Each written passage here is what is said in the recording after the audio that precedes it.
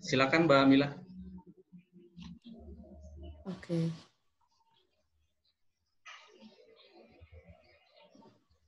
Selamat pagi semuanya.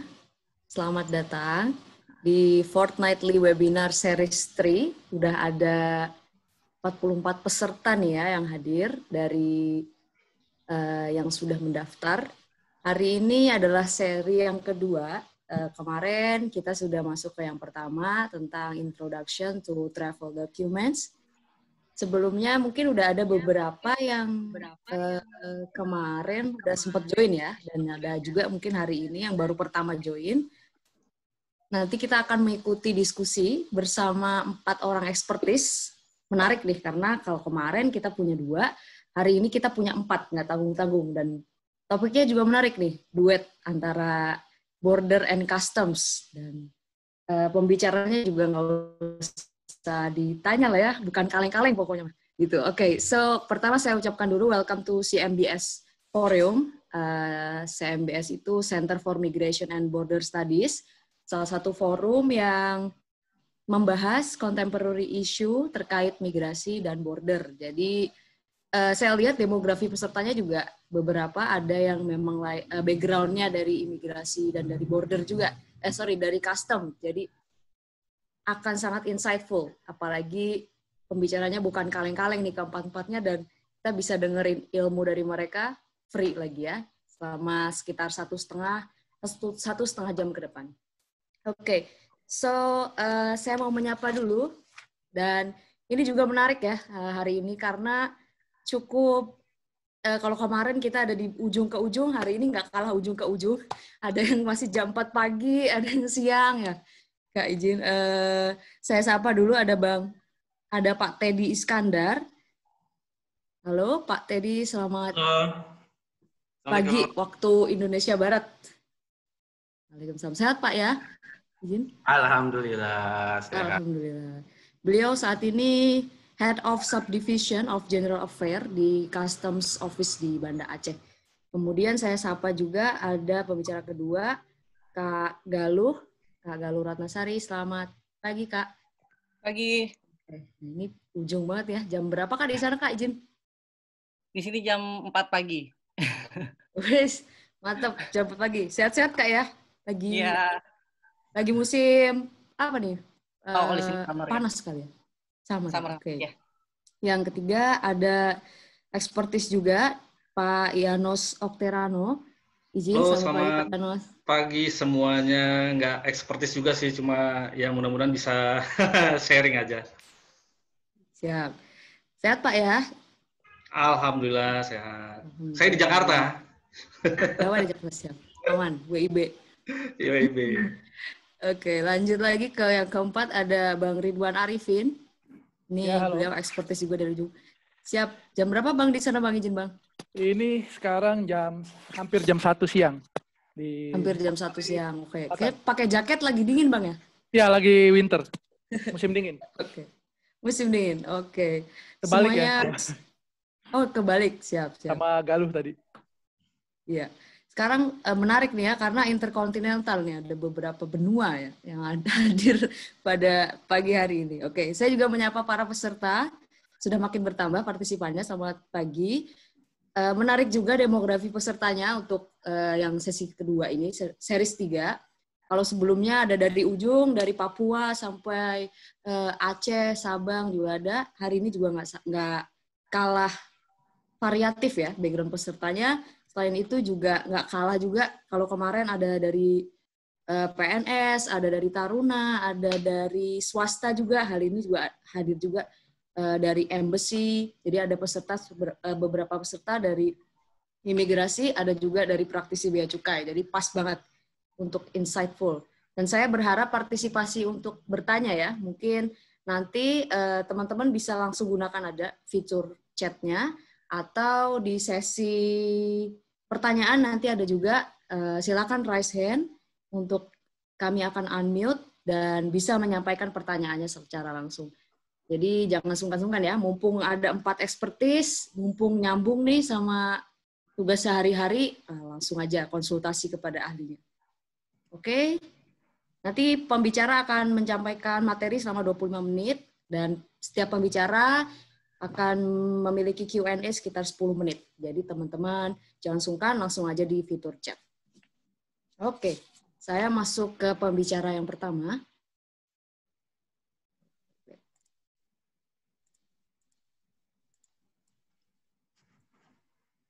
Ini juga dari jauh nih ya.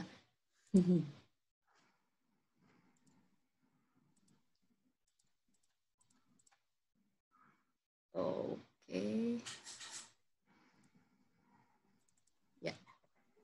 Wait, ini ada sedikit kendala.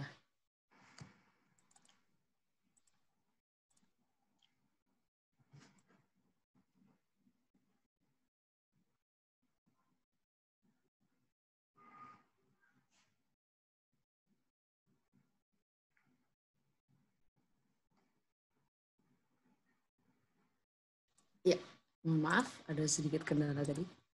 Oke, saya bacakan CV yang pertama, menarik sekali. Beliau ini alumni dari STAN. Kemudian yang paling menarik adalah accomplishment beliau ya. Jadi uh, custom and exercise investigation, kemudian pernah juga uh, money laundering investigation. Wah, ini menarik juga nih. Dan legal drafting course ahlinya di bidang customs. Nah, mari kita sambut dari Banda Aceh ya. Izin, selamat pagi Bang Iskandar, Bang Teddy. Selamat pagi.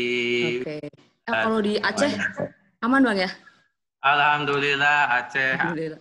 Kendali nyaman sekali, nggak ada kemacetan sama sekali. Nggak ada kemacetan, siap. Waktu dan tempat saya persilakan Bang. Terima kasih Bu Mila. Bismillahirrahmanirrahim. Assalamualaikum warahmatullahi wabarakatuh. Selamat pagi, salam sejahtera, Om Swastiastu, Namo Buddhaya dan salam kebajikan. Uh, saya mau nyapa rekan-rekan yang dari Banda apa namanya Becukai ada nggak ya? Ya tadi sudah udah blasting ya informasi terkait ini, tapi saya belum nampak kelihatannya. Uh, Oke. Okay.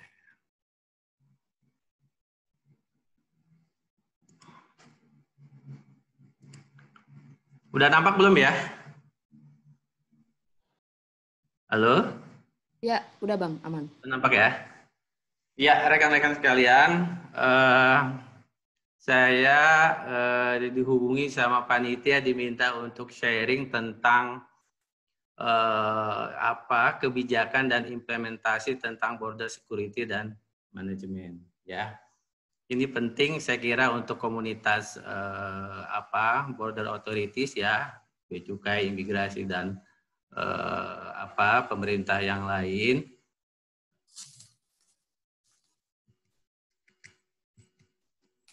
Kalau bisa ya. Perkenalan dulu, ini uh, CV saya singkat ya. Saya uh, sekarang ditugaskan diamanahkan menjadi kepala subbagian umum di Cukai Banda Aceh sudah satu tahun 8 bulan itu dijelaskan di Banda Aceh. Kemudian ini kontak uh, person saya ya nama handphone silahkan kalau ada yang uh, apa namanya yang mau konsultasi terkait Bea Cukai dan hal-hal lain yang menjadi uh, skill saya. Agenda pagi ini saya akan membahas tentang secara singkat ya tentang misi Bea Cukai, kemudian, kemudian tentang uh, pengawasan dan pelayanan, kemudian border management, kemudian ada lagi tentang uh, goods journey map ya, digital uh, touch pointnya apa namanya barang yang masuk di Bea Cukai, kemudian border security, kemudian kinerja logistik ya uh, secara keseluruhan. Ya, yang terakhir adalah referensi yang rekan-rekan bisa baca terkait uh, border management dan border security. Ya, ini secara singkat adalah terputus, Bang. Putus-putus ya? Nah, mungkin kurang dekat mikrofon. Halo? Siap. Ya, ini adalah uh, tiga misi Bea Cukai, Direktorat Jenderal Bea dan Cukai. Yang pertama adalah Bea Cukai memfasilitasi dan mengasistensi industri dan perdagangan, ya kenapa uh, Bea Cukai sering memberikan terkait eh, fasilitas fiskal ya. Ini terkait fasilitas fiskal termasuk pembebasan, keringanan biaya masuk dan pajak-pajak dalam rangka impor ya. Itu yang pertama. Yang kedua adalah terkait menjaga memberikan perlindungan komunitas ya dan perbatasan Indonesia. Nah, ini sering kali mungkin rekan-rekan bisa eh, apa menyaksikan di pemberitaan ada penangkapan narkotika, penyelundupan. Nah, ini adalah bagian dari misi atau fungsi Bea Cukai yang kedua. Dan yang terakhir adalah misi Bea Cukai di bidang optimalisasi penerimaan. Nah, ini tentu eh, ada barang-barang impor maupun ekspor ketika dimasukkan atau dikeluarkan dari daerah pabean Indonesia, ada barang-barang tertentu yang dikenakan pajak dan bea masuk. Itu tiga misi bea dan cukai secara singkat ya.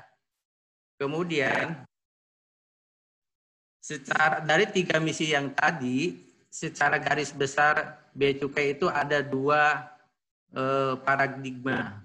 Yang pertama adalah pengawasan, yang kedua adalah pelayanan. Kemudian pertanyaannya bea cukai lebih cenderung ke mana? Ke pengawasan atau ke penerimaan. Dua-duanya kita lakukan. Ini dalam satu uh, pekerjaan atau secara simultan. Jadi di satu sisi kita melakukan pengawasan, di sisi yang lain kita melakukan pelayanan. Ya. Kenapa kita penting membahas tentang uh, apa namanya border? Pertama, ini adalah komitmen pemerintah, ya, komitmen pemerintah uh, dalam perjanjian-perjanjian internasional ya, ada WCO, ada WTO, kemudian ada juga National Single Window dan seterusnya. Ini ada beberapa uh, perjanjian-perjanjian internasional yang sudah diratifikasi menjadi uh, regulasi nasional ya. Yang kedua adalah tentang kinerja logistik ya. Kinerja logistik Indonesia yang uh, dalam kondisi yang kurang bagus ya. Nanti saya akan eh, apa namanya menggambarkan gimana kondisi logistik Indonesia dari tahun eh, 2007 sampai tahun terakhir. Kemudian yang ketiga adalah tentang kepentingan nasional ya. Tentu kepentingan nasional tujuan eh, apa namanya bernegara adalah menjaga salah satunya ada menjaga kepentingan nasional. Karena ini terkait tentang Eh, bagaimana eh, negara melindungi apa namanya eh, rakyatnya termasuk dari apa illegal trafficking ya drugs trafficking human trafficking dan seterusnya. Kemudian yang keempat adalah terkait peningkatan pelayanan publik ya. Di beberapa pemerintahan termasuk Pemda Pemprov ya ini ada paradigma peningkatan pelayanan publik yang diukur dengan WBK WBBM ya. Ini juga kenapa di Bea Cukai juga kita memberikan pengawasan di sisi yang lain kita memberikan pelayanan publik ya. Kemudian yang terakhir adalah organisasional silos ya. Praktiknya ketika kita melakukan ekspor atau impor di, di pelabuhan, di bandara atau di port of entry itu banyak sekali uh, institusi dan pelaku-pelaku ekonomi yang terlibat di dalam kegiatan ekspor dan impor. Masing-masing punya sistem, masing-masing punya bisnis proses, dan masing-masing punya ketentuan dan kebijakan masing-masing. Sehingga belum terkoordinasi. Nah, ini pentingnya men, uh, apa namanya konsepsi smart border atau gabungan antara Eh, border management dan border security.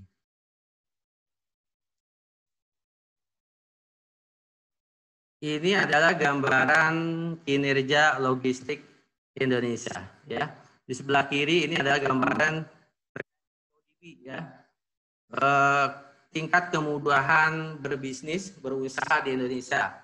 Di tahun 2013 sampai 2018 kemudahan kita semakin baik, ranking kita Indonesia semakin bagus ya, semakin baik.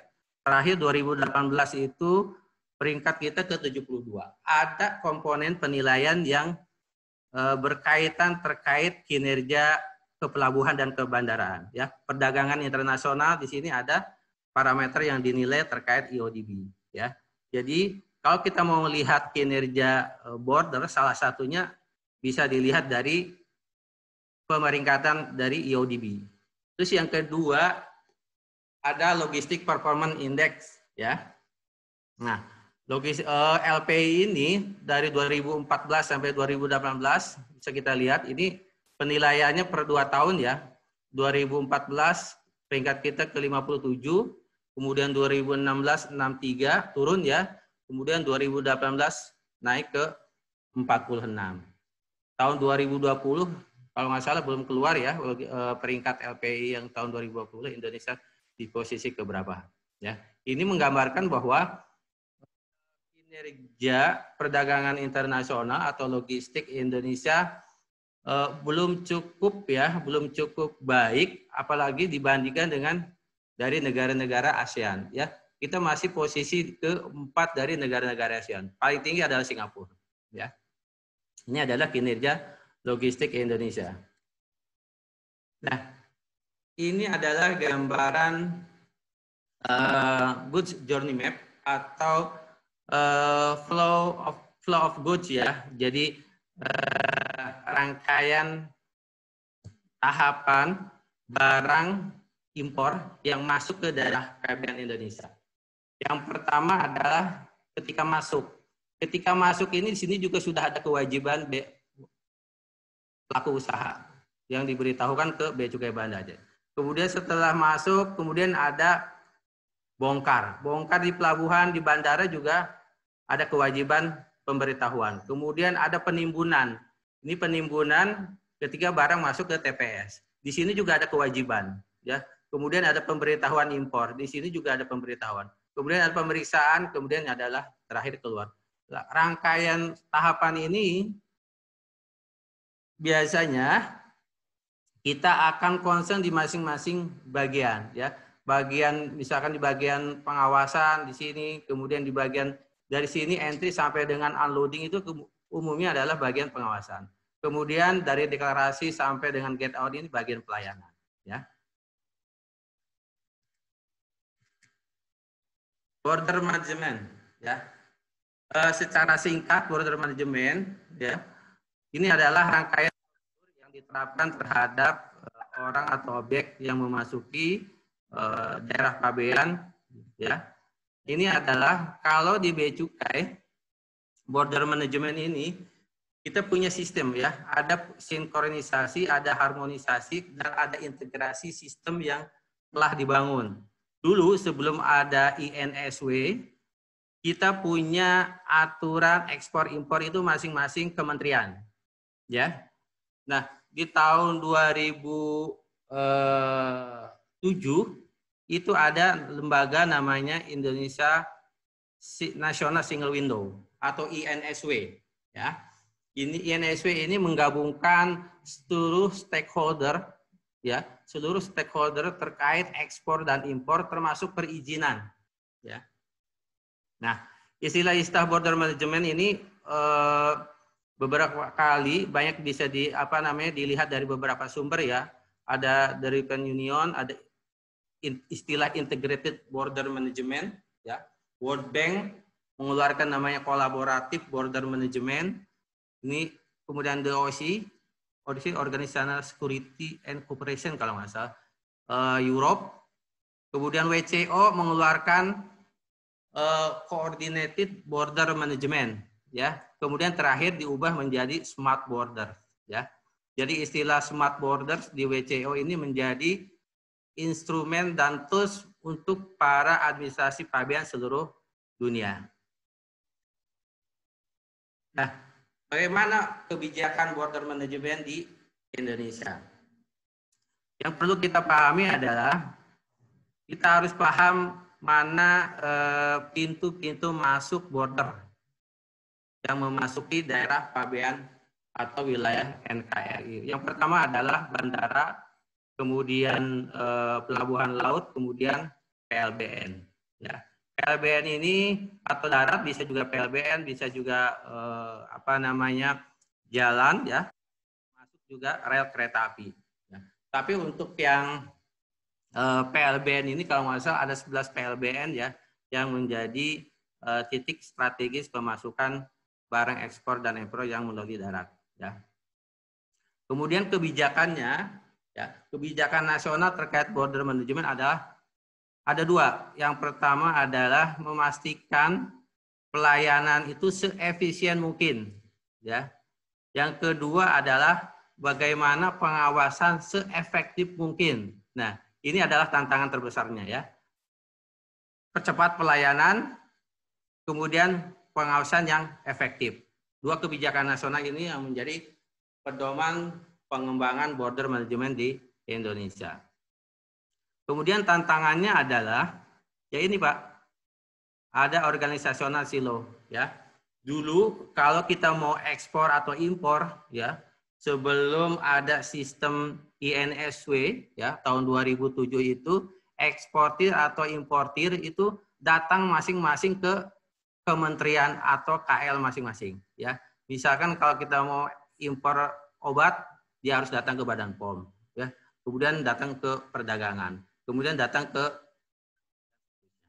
Nah, ini secara eh, perdagangan ini enggak efektif dan efisien sehingga menghambat eh, investasi dan pertumbuhan ekonomi.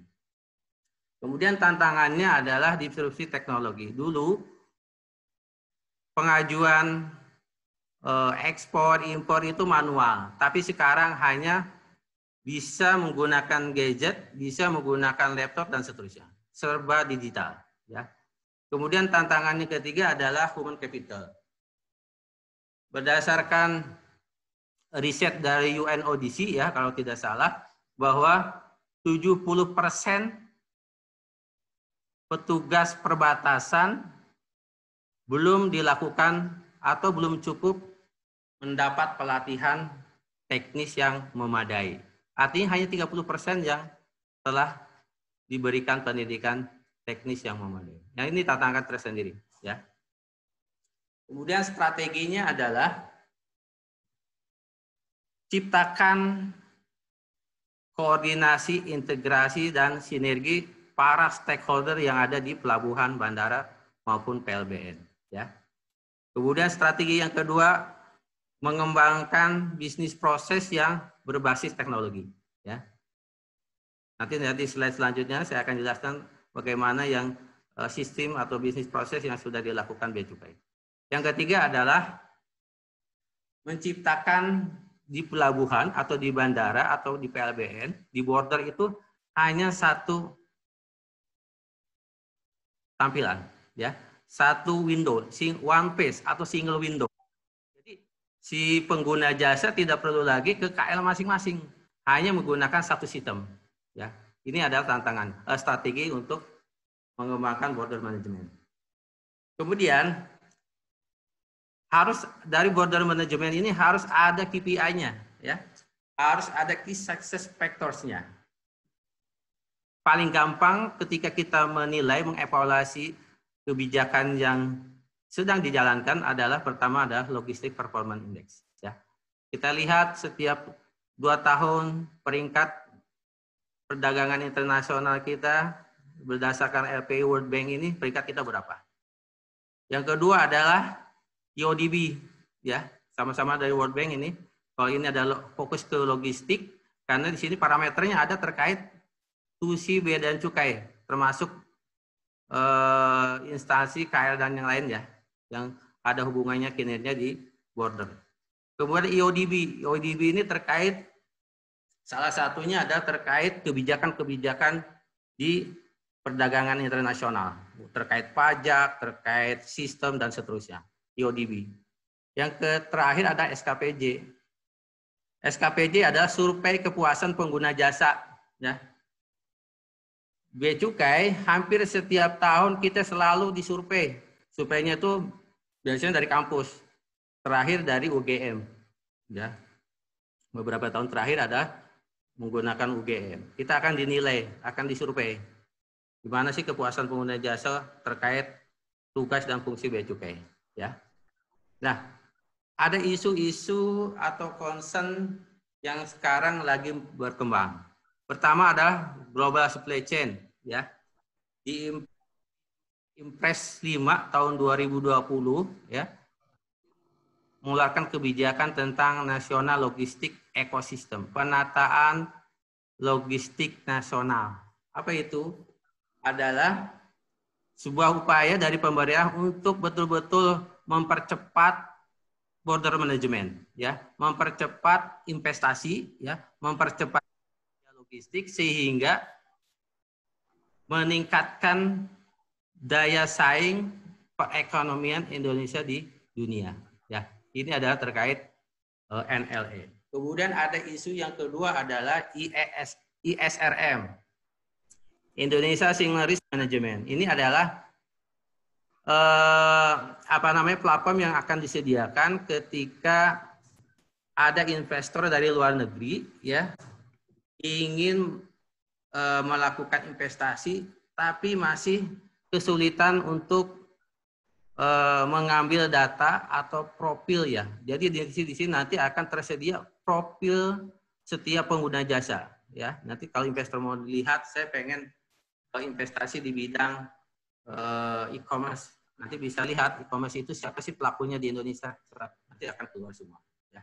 Kemudian regulasi, kebijakan dan seterusnya nanti juga akan tampil di sini semua. Kemudian tantangan Isu yang ketiga adalah terkait big data ya.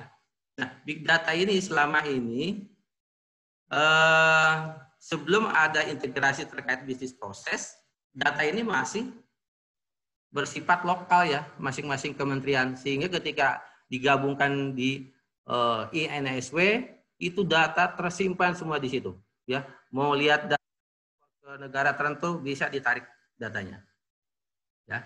Kemudian ada artificial intelligence. Di beberapa negara tertentu penggunaan eh, AI ini sebut saja Dubai kalau nggak salah. Dubai itu ketika melintas ke negara Dubai itu di uh, di Dubai itu bisa mendeteksi uh, muka ya wajah para, cross border.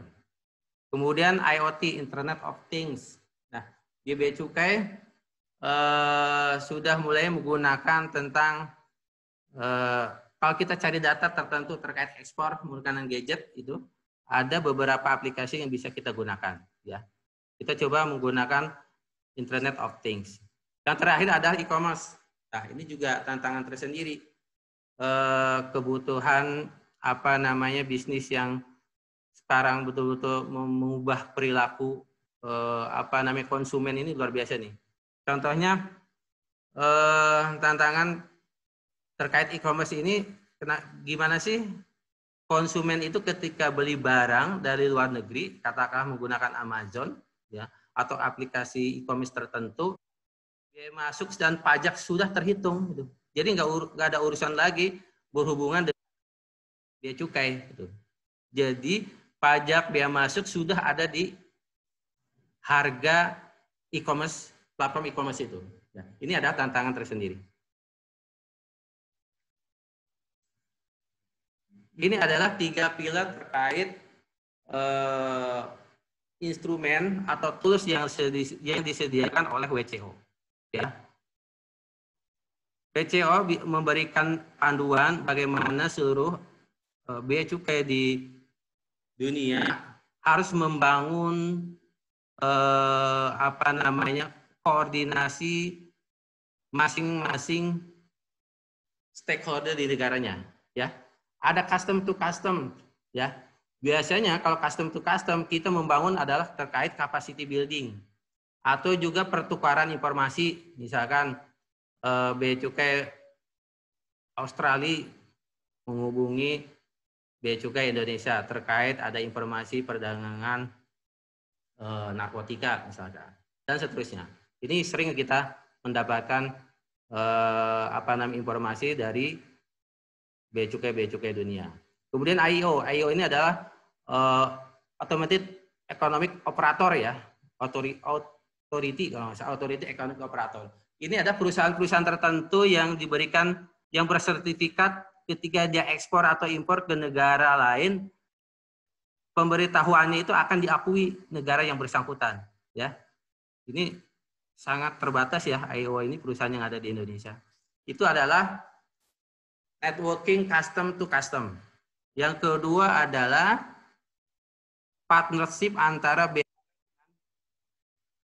pelaku bisnis. Ya, biasanya kita akan membahas terkait global supply chain. Ya, Kemudian juga IO. Nah, IO ini juga akan diberikan ke perusahaan-perusahaan tertentu yang sangat selektif ini ya. Ada syarat dan ketentuannya. Kemudian ada adalah membahas tentang pemberian fasilitas perdagangan, pembebasan, keringanan, impor sementara dan seterusnya. Nah, ini adalah partnership antara bea cukai dengan pelaku usaha.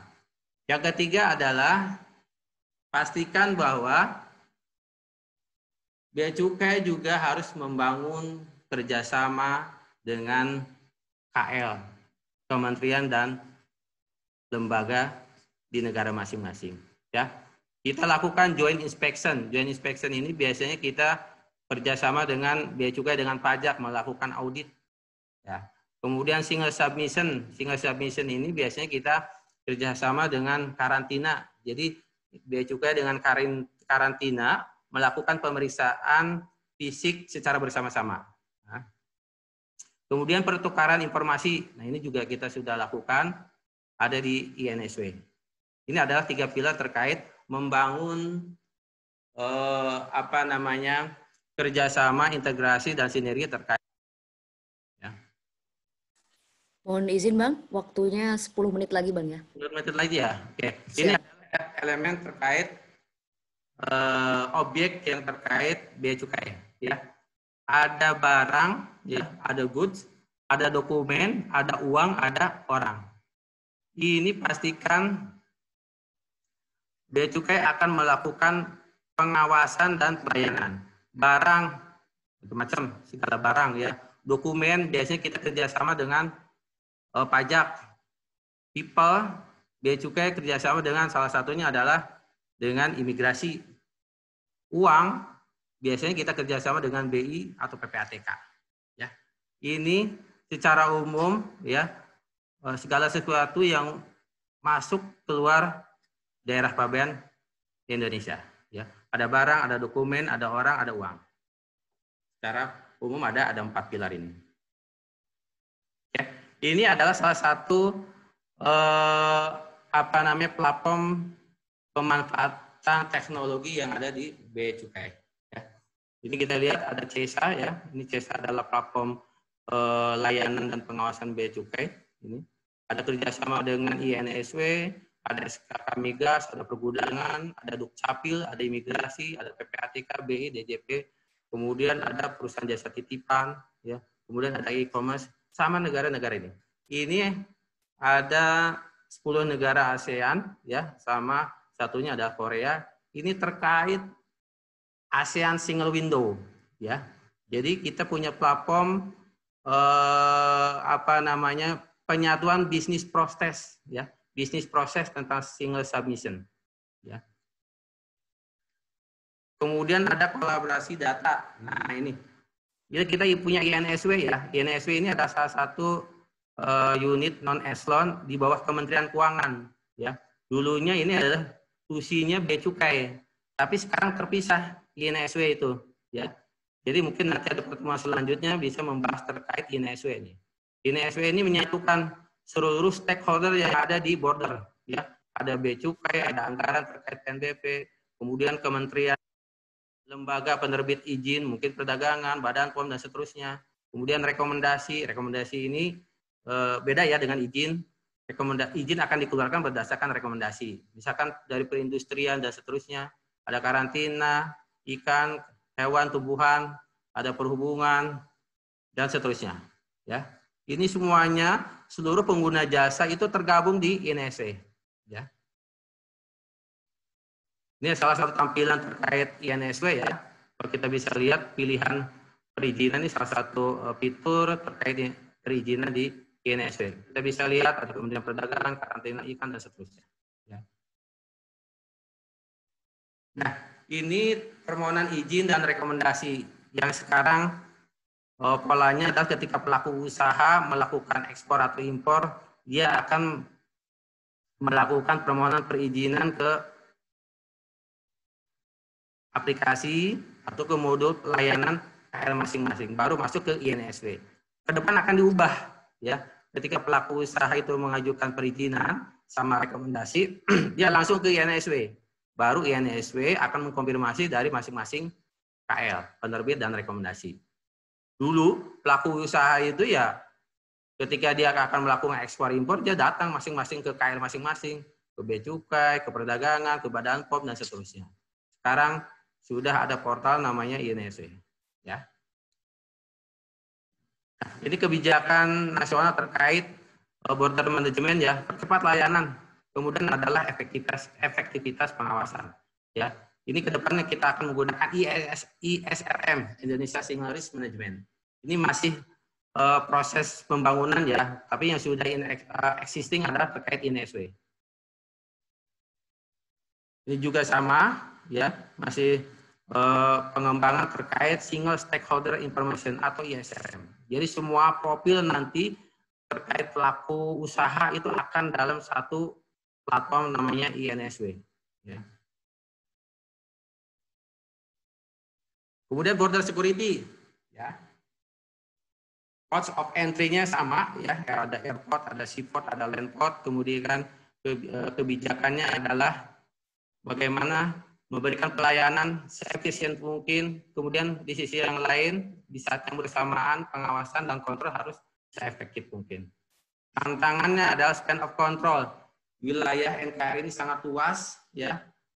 Dari ujung Sabang sampai Merauke, ya itu sangat luas nggak mungkin menempatkan petugas B di sepanjang wilayah eh, NKRI. Jadi itu adalah tantangan tersendiri. Kemudian adalah disrupsi teknologi, ya perkembangan teknologi yang luar biasa ya. Sekarang eh, konsepnya udah terkait ada Internet of Things, dulu mungkin belum ada ya masih manual, masih semi manual dan seterusnya. Masih disket, saya masih ingat aja waktu masih masuk Bea Cukai itu masih menggunakan disket atau flash disk. Sekarang sudah nggak ada. Ya. Kemudian tantangan ketiga adalah human capital. Ini sama ya, eh, tantangan terkait SDM ini. Kemudian strateginya, ya dari tantangannya ini, strategi di Bea Cukai yang pertama adalah pengembangan eh, apa namanya manajemen risiko ya keputusan berbasis risk management. Nggak mungkin kita melakukan pengawasan di panjang wilayah Indonesia, kita harus menerapkan konsep manajemen risiko. Mana yang high risk, mana yang non high risk dan seterusnya. Kemudian kita juga akan memanfaatkan teknologi, ya, menggunakan aplikasi, menggunakan platform tertentu. Nah, KPI-nya sama, ya. Ada logistik performance index, ada IODB, ada SKPJ. Kemudian isunya ada sama nih, NLE, ada nah ada TOC nih, Transnational Organized Crime ya. Nah ini juga tantangan tersendiri. Kemudian ada Big Data dan Artificial Intelligence. Nah ini eh, perangkat-perangkat yang kita miliki, Bea Cukai, ada kapal patroli, ya, pengawasan di laut sebelum barang ke masuk ke uh, daratan atau bandara sorry uh, ke laut ya pelabuhan laut itu kita punya kapal patroli. Macam-macam kapal patroli kita mulai dari uh, 60 ukuran 60 38 28 ada speedboat macam-macam kapal patroli. Ada K9 ya kita juga dilengkapi dengan K9 ya K9 yang bagus itu kalau di dunia itu Australia sama Amerika ya ada beberapa unit ekor juga kita impor dari Australia Kemudian kita juga dilengkapi dengan senjata dinas. Nah, ini juga masing-masing ada laras panjang, ada laras pendek dan amunisinya, ya. Kemudian ada X-ray nih. Biasanya kalau kita ada di bandara ya, kalau ada ekspor atau impor, kita ada eh, petugas untuk melakukan pemindaian. Kemudian gamma ray, biasanya kita akan gunakan ini untuk kontainer ya, memindai isi barang dalam kemudian ada narkotes nah ini biasa di bandara Tapi sekarang di pelabuhan-pelabuhan juga sudah menjadi modus ya. Kita di beberapa kantor yang punya tingkat risiko tinggi akan dilengkapi dengan narkotes. Nah, kemudian ada passenger risk management. Nah, ini eh, apa namanya? platform yang sangat powerful nih. Setiap ini digunakan untuk penumpang ya, pesawat ketika ada pe, apa namanya penumpang ya dia biasa sindikat narkoba duduknya di sebelah kiri siapa kapan beli tiketnya ya. Apakah dia uh, goso atau melalui dengan aplikasi ya. Kapan dia uh, apa namanya uh, beli tiketnya kapan menggunakan apa dan seterusnya. Kita bisa lihat di sini.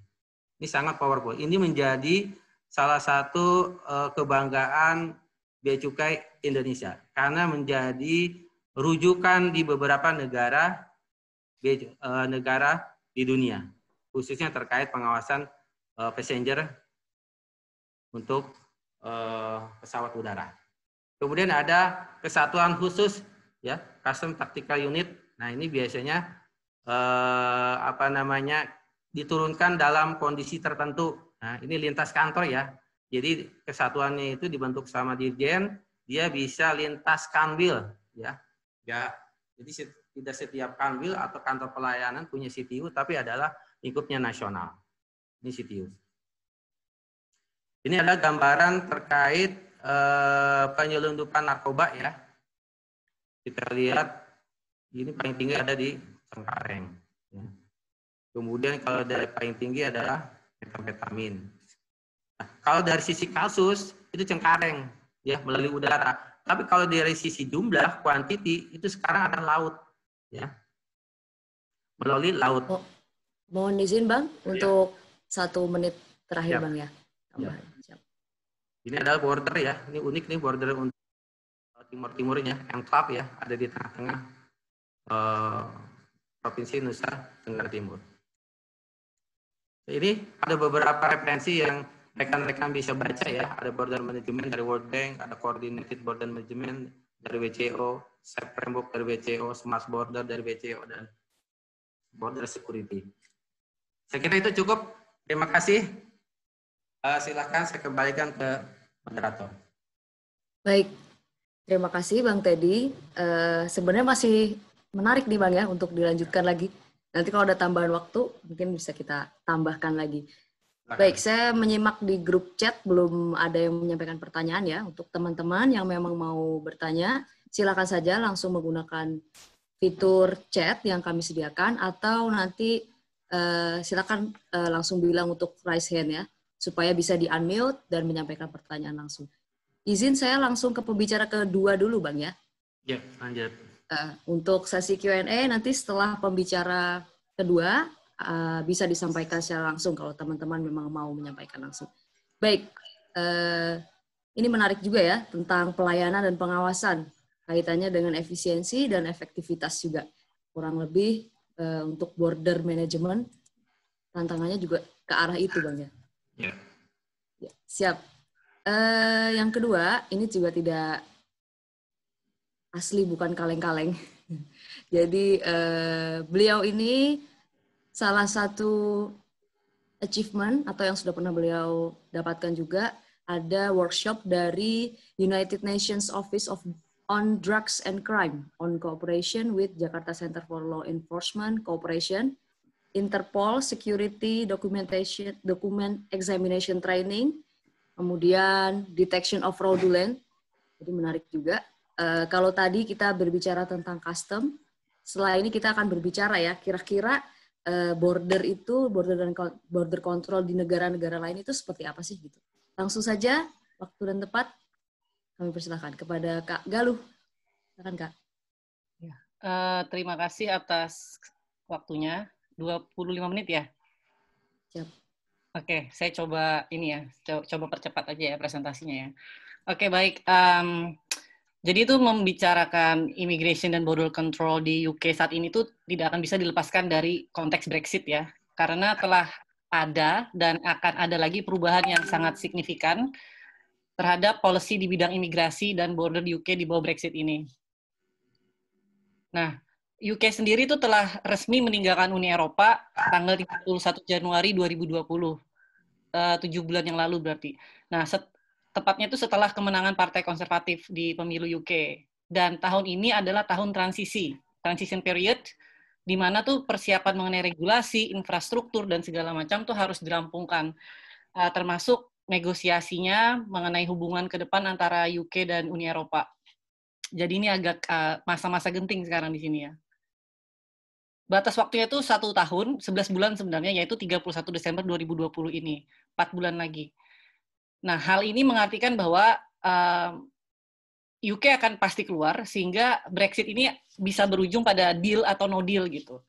Di mana keputusan ini akan sangat menentukan banyak hal as, apa aspek banyak aspek uh, dalam kehidupan masyarakat terutama UK. Apalagi kalau benar-benar uh, ujungnya itu adalah no deal yang terjadi gitu kan. Nah, pembahasan saya kali ini mungkin tidak terlalu dalam, kemudian uh, sifatnya banyak merekap sebenarnya memberikan konteks dan mengupdate perkembangan terbaru terkait immigration dan border control di bawah Brexit.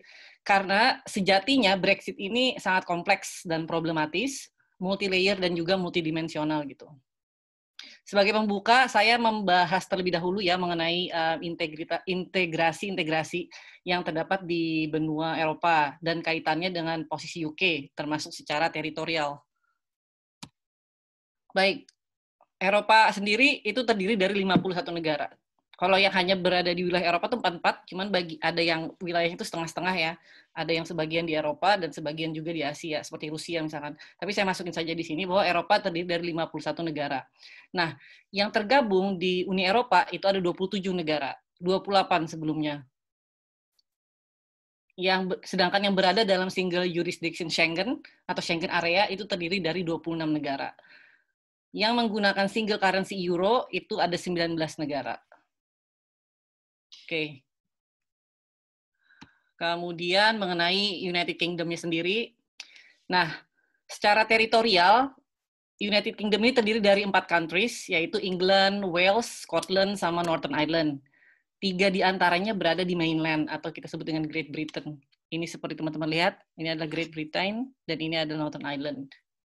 Nah, satu country, yaitu Northern Ireland, itu berada di pulau yang berbeda, yaitu di uh, yang berbatasan darat dengan Republic of Ireland seperti teman-teman lihat di sini ya.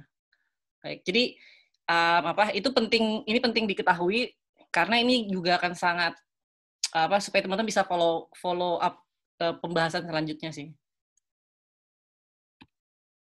Baik, um, fakta yang ingin saya garis bawahi adalah satu, currency UK itu adalah pound sterling bukan euro. UK itu tidak berada di Schengen area, begitu juga dengan Republic of Ireland. Jadi Irlandia, uh, Republic of Ireland itu dan UK itu tidak berada di Schengen area. UK dulu bagian dari EU, um, Republic of Ireland-nya masih, dan sebentar lagi UK akan keluar dari uh, European Union Customs Union atau yang disebut dengan Single Market. Sebentar lagi akan keluar, yaitu tanggal 1 Januari 2021. Nah, um, Northern Ireland ini satu-satunya wilayah UK yang berbatasan darat dengan Republic of Ireland. Baik. Nah, apa sih dampak Brexit terhadap imigrasi dan perbatasan? Yang pertama itu yang jelas adalah uh, berakhirnya free movement. Jadi semua warga negara EU citizen itu harus memiliki izin tinggal keimigrasian untuk dapat tinggal dan bekerja di UK. Dengan kata lain tuh bordernya tuh menjadi aktif gitu. Untuk EU citizen tuh bordernya menjadi aktif.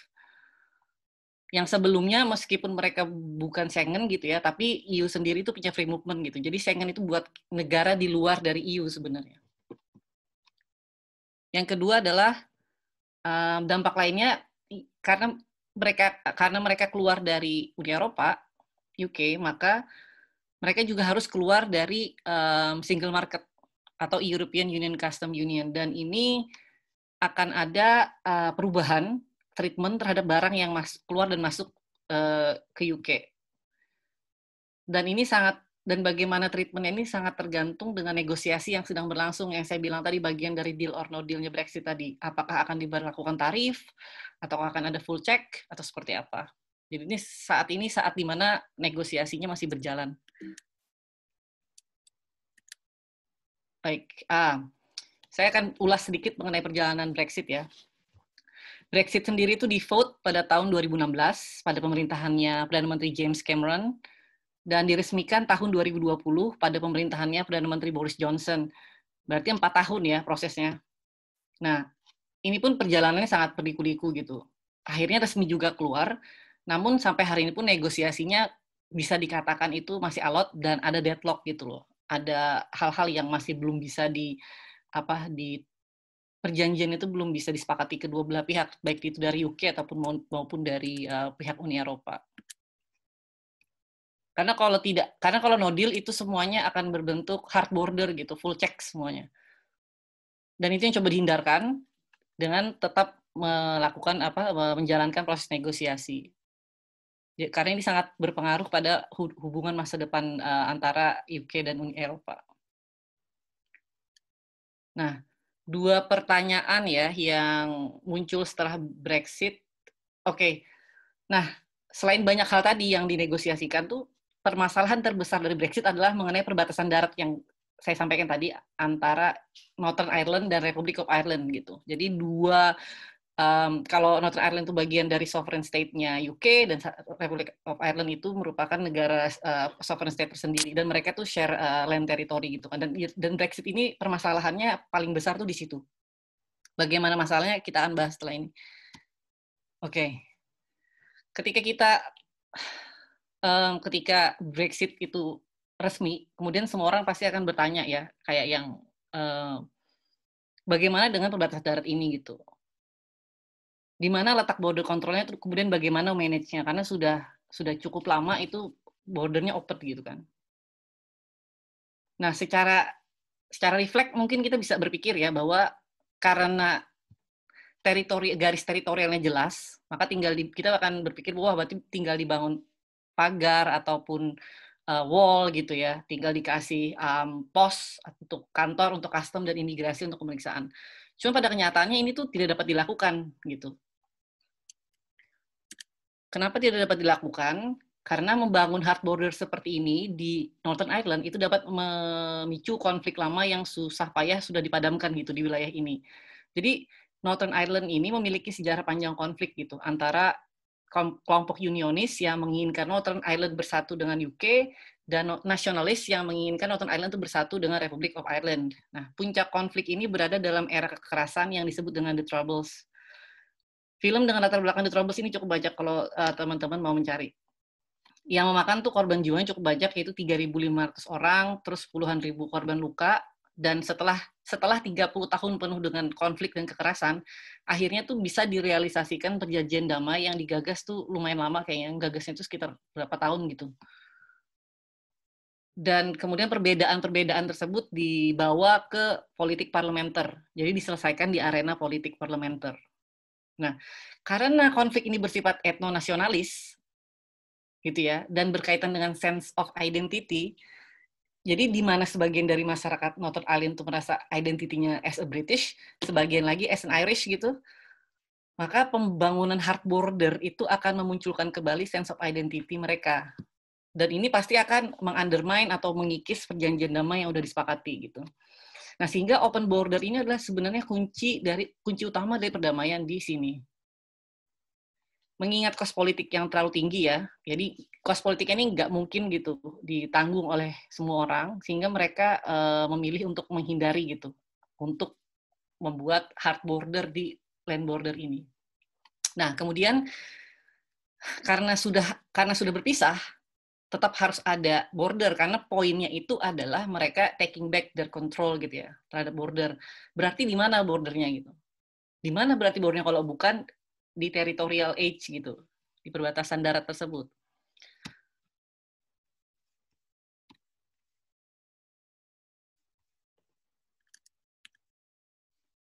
Kemudian uh, solusi yang diberikan itu kemudian adalah perbatasannya diputuskan untuk dipindah ke uh, laut Irish Irish Sea ini. Jadi kayak nih tepatnya di sini teman-teman lihat jadi akan perbatasannya dipindah ke laut Nah, apakah ini menghindarkan potensi konflik etnonasionalis tadi? Iya. Tapi apakah ini memunculkan masalah baru? Jelas, ini ada muncul masalah baru di sini. Karena bordernya terbuka, perbatasan dan terbuka, pergerakan barang kini yang menjadi masalah di sini. Karena Northern Ireland bagian dari UK, sedangkan Republic of Ireland masih berada di um, single market gitu, EU Customs Union, dan masing-masing akan memiliki sistem dan regulasi yang berbeda. Nah, dalam hal ini untuk ya. waktu 10 menit lagi ya. Oke. Okay.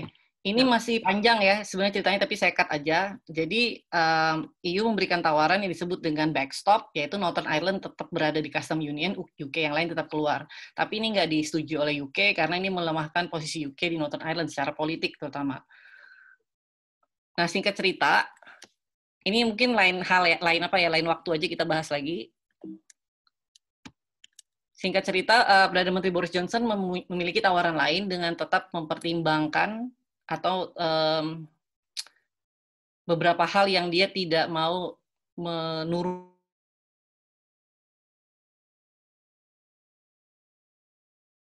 Yang kedua, perbatasan tetap dipindah ke Laut Irish sesuai rencana.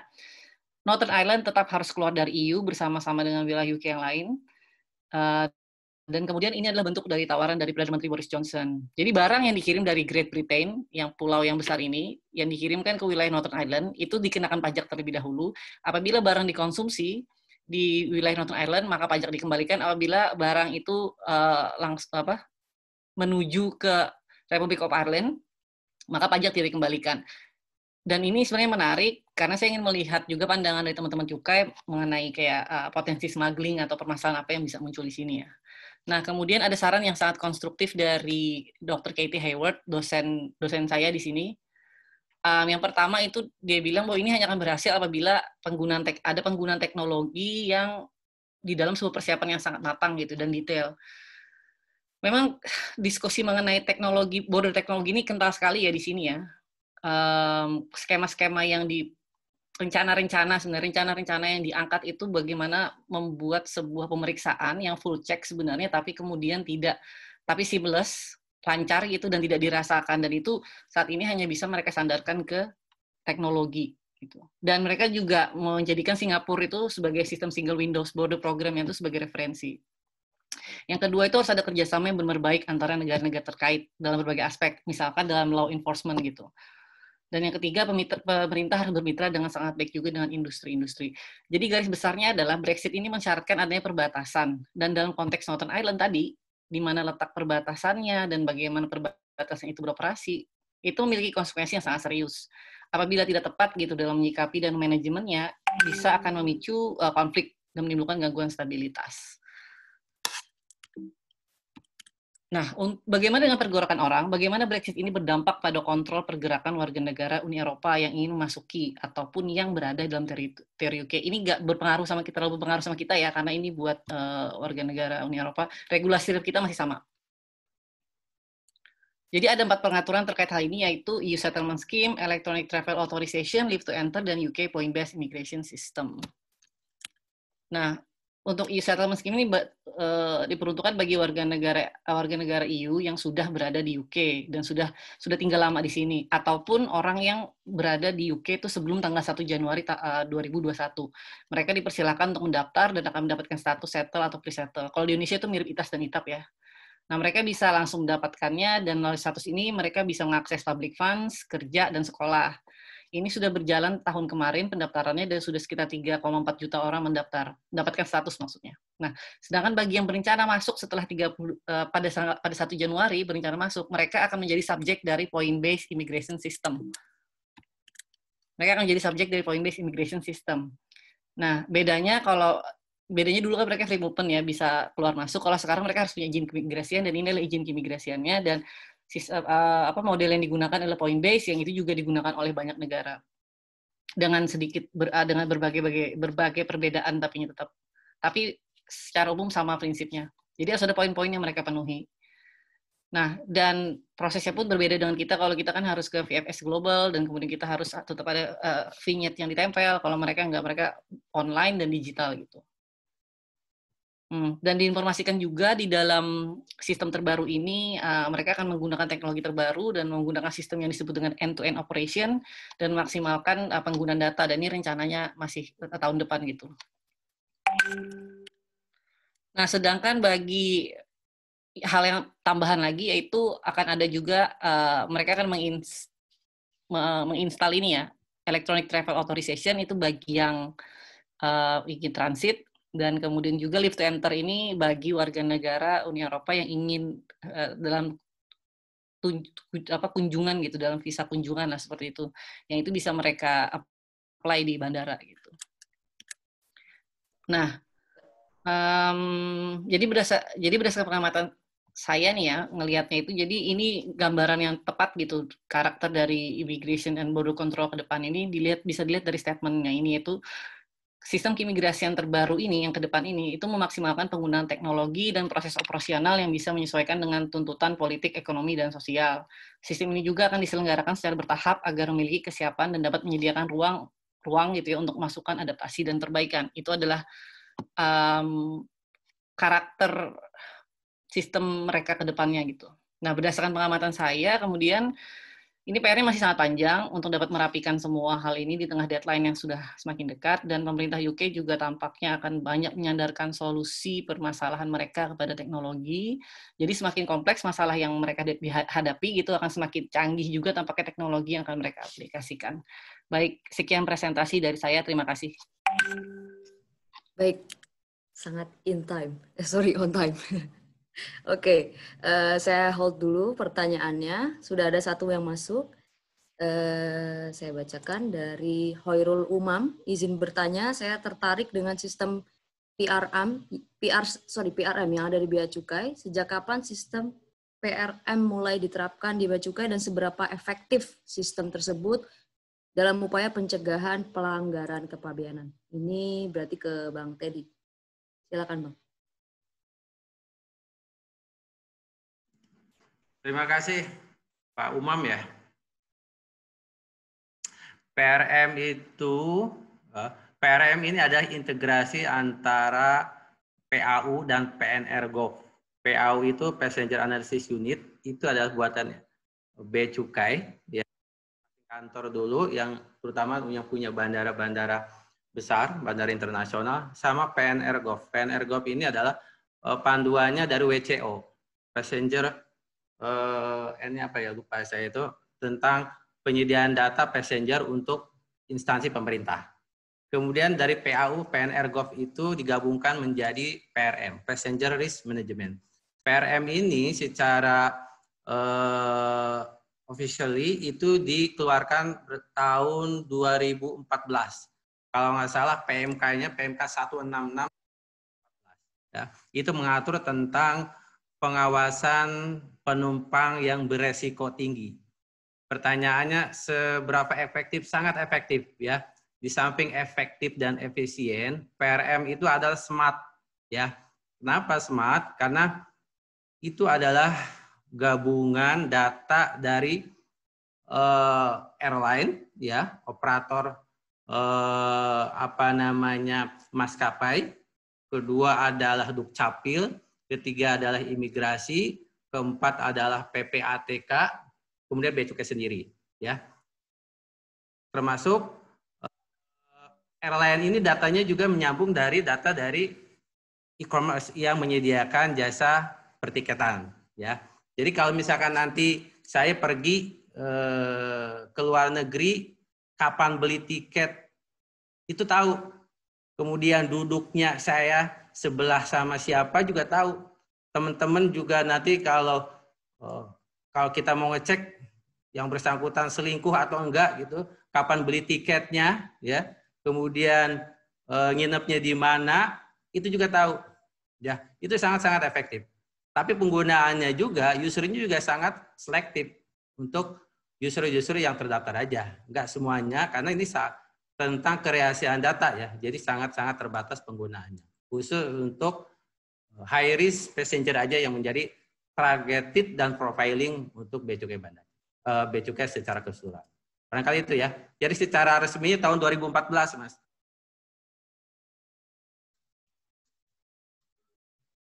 Baik, sudah terjawab. Berikutnya ini untuk Bang Teddy juga, Bang. Izin. Uh, izin dari Erza Mendrova. Bagaimana bentuk pengawasan bea cukai di PLBN karena ada perbatasan tradisional? Ya, untuk yang PLBN, prinsipnya pengawasan itu adalah seefektif mungkin, ya tapi juga memperhatikan uh, sosial budaya dan ekonomi atau uh, sederhananya adalah uh, kearifan lokal ya. Kadang-kadang setiap daerah itu pengawasan akan beda. Kantor Bea Cukai Aceh dengan kantor Bea Cukai Entikong akan beda ya. Untuk khusus untuk PLBN juga karakternya akan beda-beda. PLBN Entikong sama PLBN yang di uh, Sumba apa namanya uh, Atambua itu akan beda. Ya, kalau Atambua kebanyakan barang Indonesia yang keluar ke uh, Timur Timur, tapi kalau yang di Entikong itu adalah barangnya masuk, ya impor. Jadi barang yang dari Malaysia masuk ke uh, Indonesia, barang dari Malaysia masuk ke Indonesia. Pola pengawasannya juga akan beda-beda. Ya, sangat tergantung uh, karakteristik daerah masing-masing. Intinya adalah Bea Cukai akan memanfaatkan targeted profiling ya mengedepankan manajemen risiko yang kedua adalah berbasis teknologi. Teknologi yang digunakan itu ada X-ray kemudian eh, apa namanya ada pertukaran informasi antar custom custom to custom dan seterusnya ya. Upaya-upaya yang dilakukan Bea Cukai akan eh, khusus untuk kantor-kantor yang PLBN yang mungkin jauh dari teknologi ya, jauh dari teknologi, biasanya kita akan uh, melakukan koordinasi se apa nama koordinasi, integrasi dan sinergi untuk para stakeholder. Demikian. Baik, uh, saya fokus ke pertanyaan untuk Bang Teddy dulu, Bang ya. Izin. Ya, Berikutnya dari Felix, apa saja kendala yang dihadapi importir dan importir dan eksportir dalam melaksanakan registrasi kepabeanan dengan sistem INSW? Dan apa yang mempengaruhi peringkat logistik performance index agar peringkat Indonesia lebih baik? Ada dua pertanyaan, Bang, silakan. Yang paling kesulitan untuk yang registrasi kepabeanan itu biasanya eh, data laporan keuangan ya, ya biasanya kita audit ya ada audit di laporan keuangan untuk karena masing-masing nanti profil perusahaan itu ada profilnya ya. Ada skor registrasinya. Semakin registrasinya semakin bagus nanti dia akan profilnya juga semakin bagus. Artinya semakin hijau. Jadi ketika ada ekspor impor itu tidak dilakukan pemeriksaan fisik. Semakin jelek selalu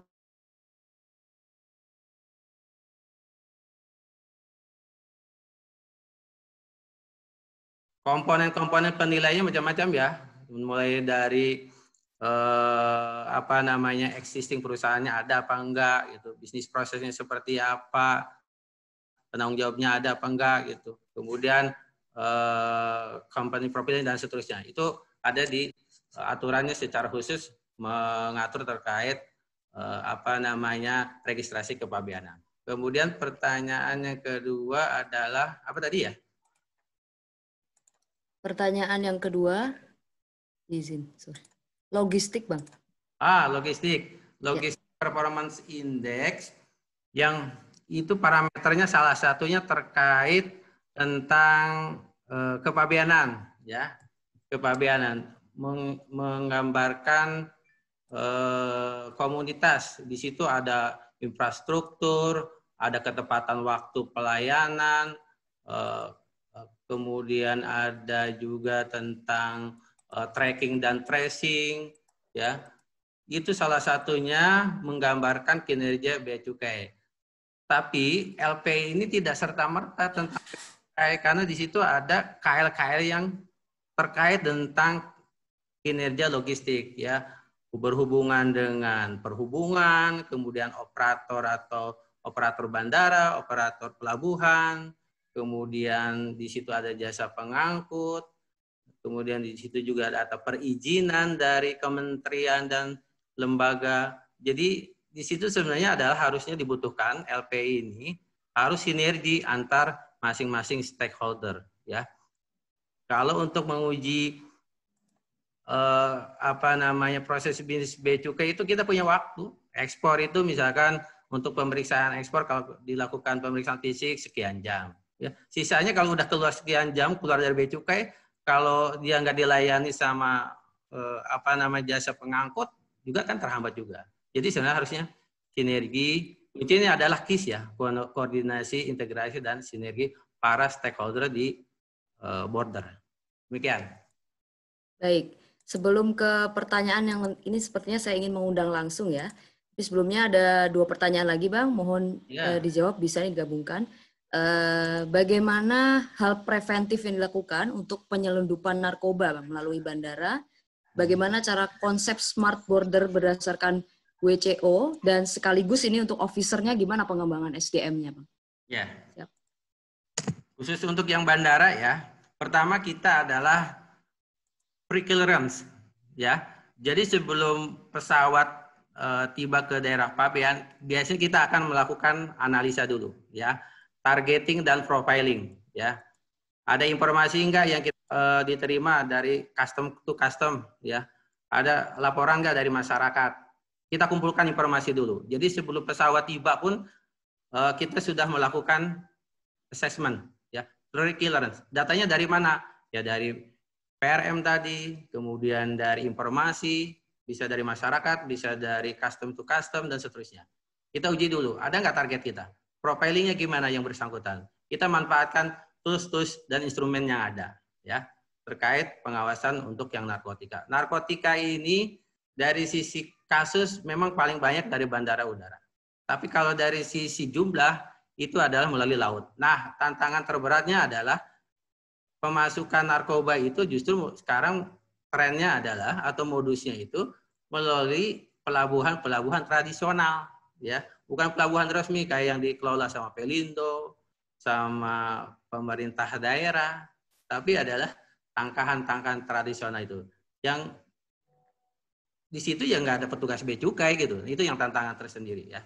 Akhirnya eh, adalah konsep atau strategi pengawasannya melalui patroli laut ya. Patroli laut itu biasanya kita ada patroli mandiri, ada patroli laut terpadu, terpadu biasanya gabungan antara kantor wilayah atau patroli khusus ya. Misalkan eh, apa namanya eh, kerjasama dengan Bakamla dan seterusnya. Itulah. Jadi eh, tantangan terberat adalah ketika pengawasan di eh, apa namanya pelabuhan-pelabuhan tradisional. Demikian. Baik. Oke. Untuk SDM, Bang? Oh, untuk SDM kita ada eh, pengembangan, ah, ada diklat ya, ada diklat khusus ada intelijen taktis, ada intelijen analis, kemudian juga patroli juga ada, ada diklatnya. Kita ada punya pusdiklat khusus untuk pengembangan dan pendidikan termasuk pelatihan para pegawai yang di unit-unit pengawasan. Masing-masing eh, kompetensi kita akan eh, dilakukan penilaian mulai dari penindakannya, mulai dari intelijennya, mulai dari penyidikan dan seterusnya. Siklus pengawasan kita eh, apa namanya betul-betul ditekankan ya. Intelijen penindakan kemudian penyidikan ya. Ada pengembangan SDM terkait pengawasan. Demikian. Baik. Berikutnya saya mohon izin untuk bergabung eh, melalui pertanyaan langsung ya Bapak Budi Yuda Kusuma silakan mohon izin Pak bisa menyampaikan pertanyaannya secara langsung karena ini terkait kerjasama ya antara imigrasi dan bea cukai. Jadi bisa kepada kedua pembicara. Bisa di unmute mungkin?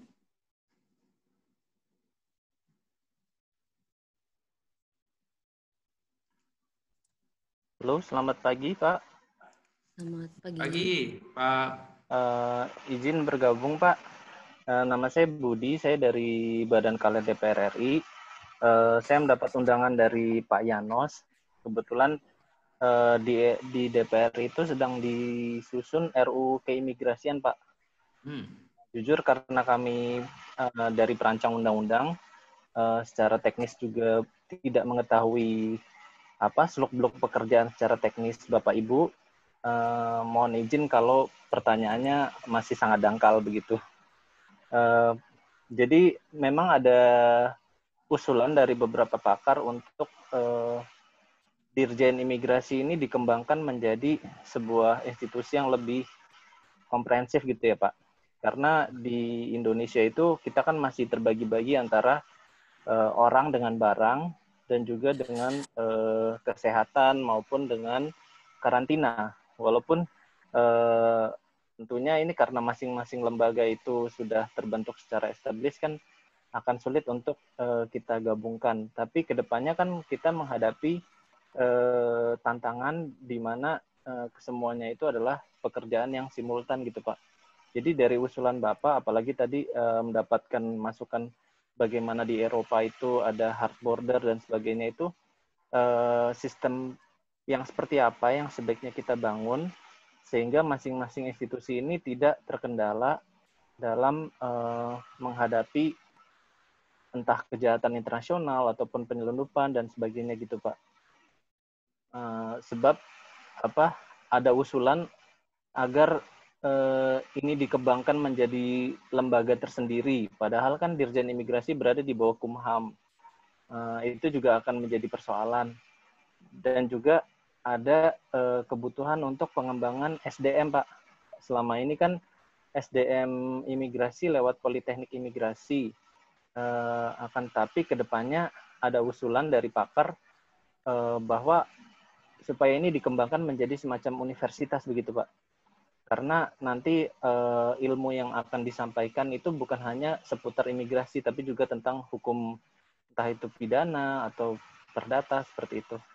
Mungkin itu dulu dari saya Pak. Terima kasih uh, Ibu moderator atas kesempatannya.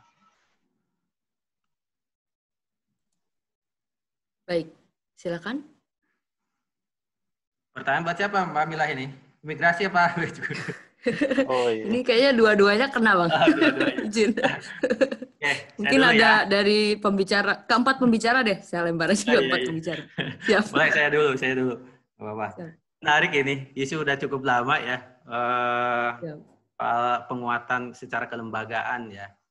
Uh, kalau berkaca dari apa namanya uh, apa rebranding ya Eh, border di luar negeri, misalkan di Australia, mungkin teman-teman yang dari imigrasi bisa menambah dari uh, eh, CBP apa namanya Australian Borders uh, menjadi di IBP kalau nggak salah ya, ya di Australia menjadi di IBP, kemudian di uh, Amerika menjadi ke masuk ke tusinya tentang bea cukai itu masuk ke Homeland ya kalau nggak salah mungkin uh, Kementerian Dalam Negerinya ya Nah, di Indonesia sendiri uh, saya kira butuh waktu ya. Memang tentu uh, apa dari para ahli, para praktisi, termasuk juga akademisi juga ini juga di di apa namanya di sangat-sangat dibutuhkan tentang penguatan border ini nih ya. Saya kira kalau untuk di Bea Cukai sendiri memang belum ada pembahasan secara khususnya. Paling tidak mungkin saya nggak tahu ya, mungkin karena saking jauhnya di Aceh Eh, nggak tahu uh, perkembangan terakhirnya tentang penguatan uh, border ini. Kalau secara semangat sih semangat sangat bagus ya penguatan border ini penyatuan entah itu namanya badan apa yang di bawah presiden langsung terkait penguatan border ini. Saya kira itu ya dari Becu. Baik, berikutnya mungkin dari uh, tiga pembicara mungkin ada yang mau menambahkan? Uh, saya tambahkan sedikit aja ya. Boleh. Siap. Ya, jadi tuh kalau dalam kesisteman dan kelembagaan, kalau saya jelas nggak uh, kompeten lah untuk membahas di situ ya.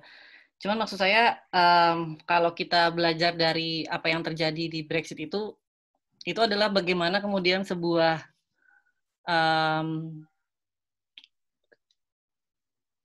keputusan dibuat yang sangat besar dan kemudian itu juga akan disertai oleh konsekuensi yang besar ya maksud saya tadi seperti yang disampaikan uh, dari Pak Budi tadi bahwa kita coba bergerak gitu dari satu posisi ke posisi yang lain. Nah itu kalau menurut saya nggak ada yang mustahil gitu. Artinya um, walaupun Brexit sendiri itu banyak PR, cuman maksud saya kalau kita mau mengikuti langkah dalam konteks berubah gitu ya, bergeser ataupun keluar dari zona yang sekarang dan memasuki zona yang berbeda, itu kita cukup bisa sebenarnya mempelajari bagaimana uh, gerakan mereka dari waktu ke waktu dari 2016 sampai 2020 eh, ini.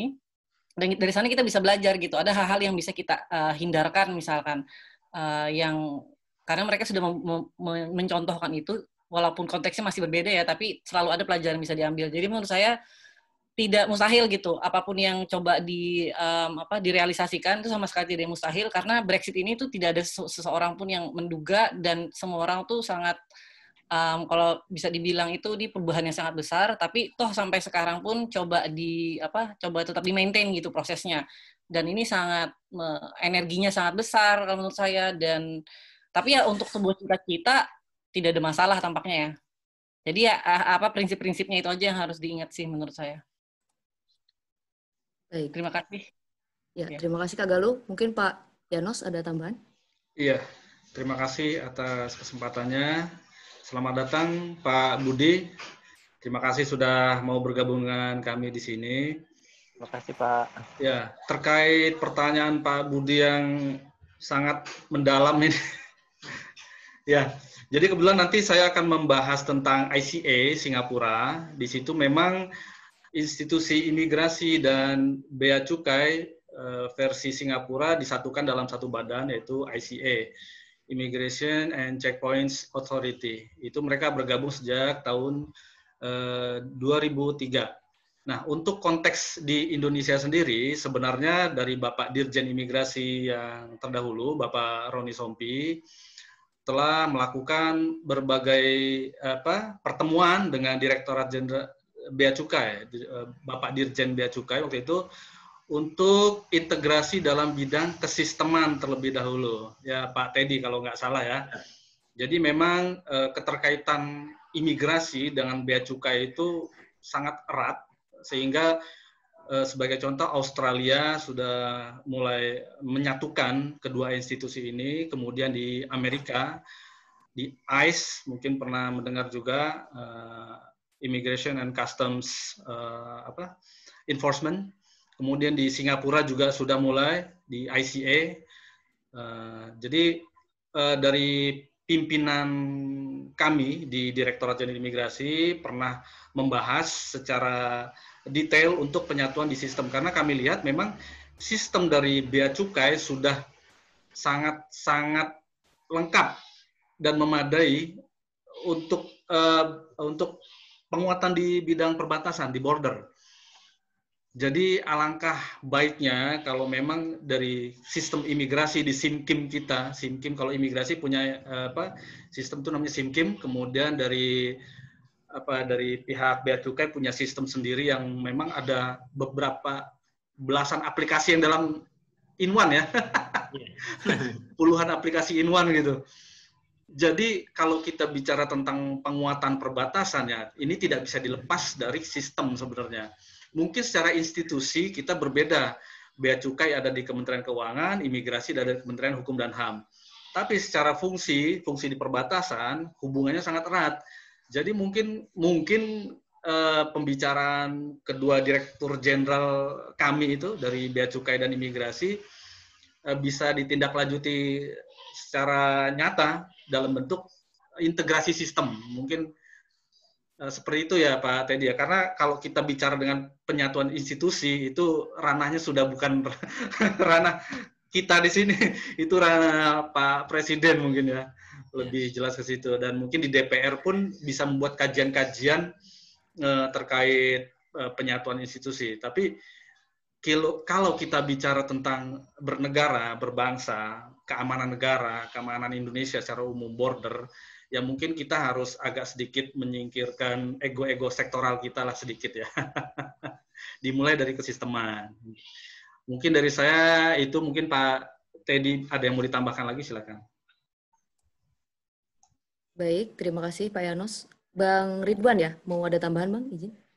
Oh iya, um, sedikit menambahkan uh, jawaban. Bah, bagus sekali Pak Budi, uh, tadi pertanyaannya menarik. Um, saat ini kami, saya dan satu orang uh, dosen dan peneliti sedang mengkaji uh, yang namanya integrasi imigrasi dan bea cukai di Indonesia. Judulnya uh, Towards Integration of Eh, Immigration and Customs Agency in Indonesia. Saya pakai pendekatan IBM, Integrated uh, eh, IBM, Integrated Border Management. Ada tiga step.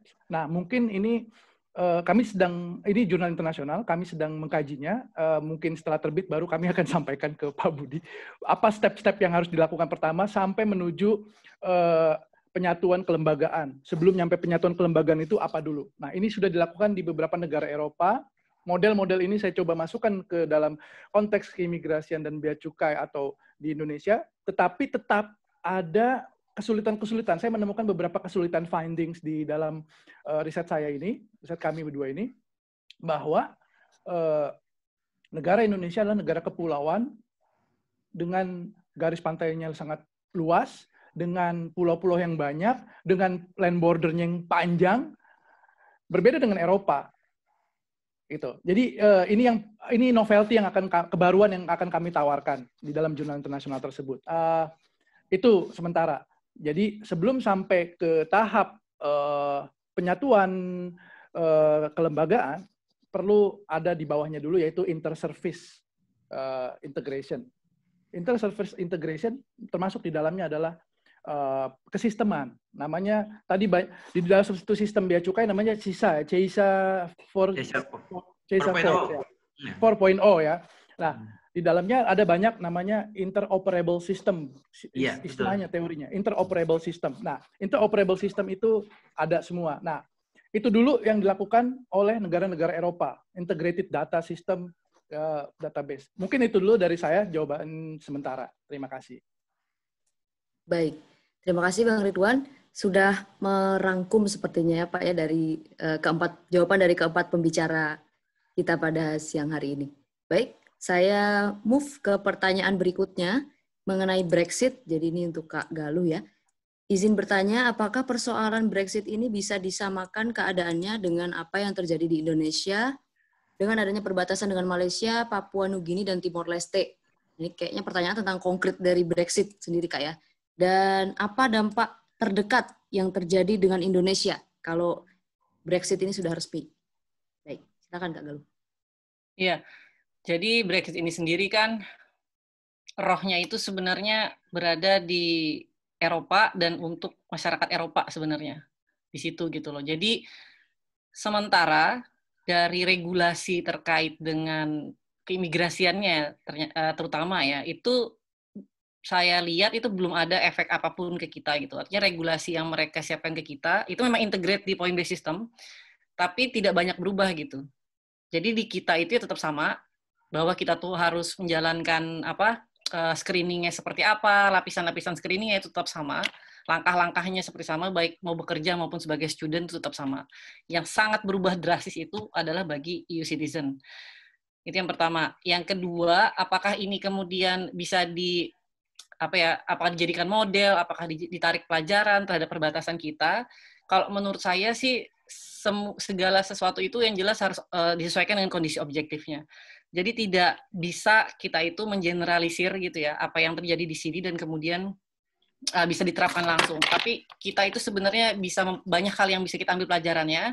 Dan itu coba kita um, apa uh, sesuaikan gitu mana yang bisa diterapkan dan mana yang enggak gitu. Jadi policy learning dan kemudian mempelajari bagaimana prosesnya yang saya lakukan di sini itu sangat penting sehingga ketika ada perubahan-perubahan yang coba dilakukan itu kita punya uh, basis knowledge yang cukup luas, punya referensi yang cukup banyak. Jadi konteksnya hanya hanya sebatas di situ gitu loh. Jadi tidak bisa perbatasan itu apa pun ya perbatasan apa pun di mana pun dan dalam era dan apa sih range waktu mana pun itu bisa disamakan itu tidak bisa sama persis. Jadi menjadi referensi dalam hal-hal tertentu tentunya sangat bisa. Ya. kasih Kak Galuh dan Bang Teddy atas sesi pertama tadi ya. Pertanyaannya cukup banyak dan variatif. Berikutnya, saya mengundang pembicara berikutnya ya, karena mengingat waktu kita yang semakin sempit. Jadi, achievement dari beliau, uh, salah satunya adalah Certificate of Appreciation from Criminal Investigation Bureau, Ministry of the Interior, the Interior ROC. Jadi langsung saja ekspertis berikutnya kami mengundang Bang Yanus. Silakan Bang. Ya, terima kasih Mbak Mbak Bila.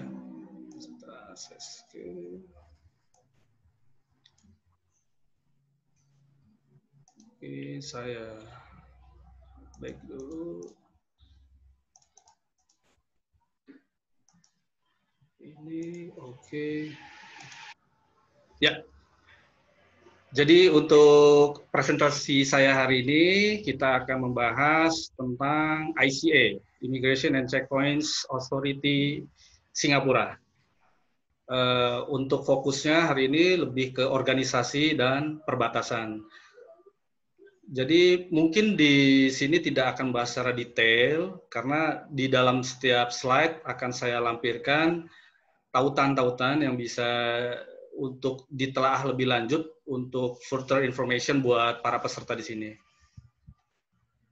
Oke. Jadi ICA itu berada di bawah Kementerian Dalam Negeri atau Ministry of Home Affairs Singapura. Di dalam kementerian tersebut terdapat beberapa institusi penegakan hukum seperti kepolisian, kemudian ada Internal Security Department, kemudian ada kementerian apa Departemen Pertahanan, Satuan Pertahanan, kemudian ada ICA, kemudian ada pemasyarakatan kalau di Indonesia, kemudian ada BNN mungkin ya kalau di Indonesia ya untuk narkotics. Jadi ini uh, sebagian dari departemen di bawah uh, Ministry of Home Affairs Singapura. Kemudian kita lanjutkan ke sejarah adanya ICA. Jadi sebelum ICA itu berdiri, pada tanggal 1 April 1998 itu zaman-zamannya kita krisis moneter sebenarnya. Bergabunglah Singapore Immigration SI dengan National Registration Department. Jadi pencatatan sipil kalau di Indonesia ya, Dina bagian dari pencatatan sipil di Singapura bergabung dengan imigrasi Singapura membentuk Singapore Immigration and Registration atau SIR pada tahun 1998. Kemudian berikutnya di tahun 2003 Singapore Immigration and Registration SIR bergabung lagi dengan pihak bea cukai, bea cukai dari Singapura, Custom and Excise Department (CED). Jadi SIR dan CED bergabung membentuk ICA (Immigration and Checkpoints Authority). Jadi ICA itu merupakan gabungan dari imigrasi, kalau di dalam konteks Indonesia, imigrasi, bea cukai, dan pencatatan sipil. Tiga institusi di situ. Kemudian untuk visi, misi, dan values dari ICA. Jadi fungsi ICA di sini adalah untuk mengamankan perbatasan Singapura dari orang atau barang yang tidak diinginkan untuk masuk melalui darat, laut, maupun udara. Kemudian mengadministrasi eh, bagian mengadministrasi bidang keimigrasian dan pencatatan sipil seperti penerbitan paspor, penerbitan ID cards bagi masyarakat Singapura dan immigration pass and permits. Kalau di Indonesia itu mungkin uh, izin masuk dan izin tinggal bagi orang asing. Kemudian enforce laws and regulations relating to immigration and registration. Jadi penegakan hukum keimigrasian dan pencatatan sipil. Di bawah ini ada source link yang saya sertakan, jadi rekan-rekan sekalian bisa untuk lebih men menggali informasi lebih dalam melalui uh, link yang saya berikan. Kemudian vision, mission, and values. Vision adalah secure borders, save Singapore. Jadi untuk mengamankan perbatasan agar Singapura menjadi negara yang aman. Kira-kira seperti itu. Jadi visinya jelas, sangat jelas sekali, secure borders, save Singapore. Kemudian misinya, we secure our borders and uphold our laws on immigration and national registration. Jadi pengamanan perbatasan dengan menegakkan hukum dan peraturan perundang-undang di bidang keimigrasian dan pencatatan sipil. Values-nya integrity, commitment, dan accountability.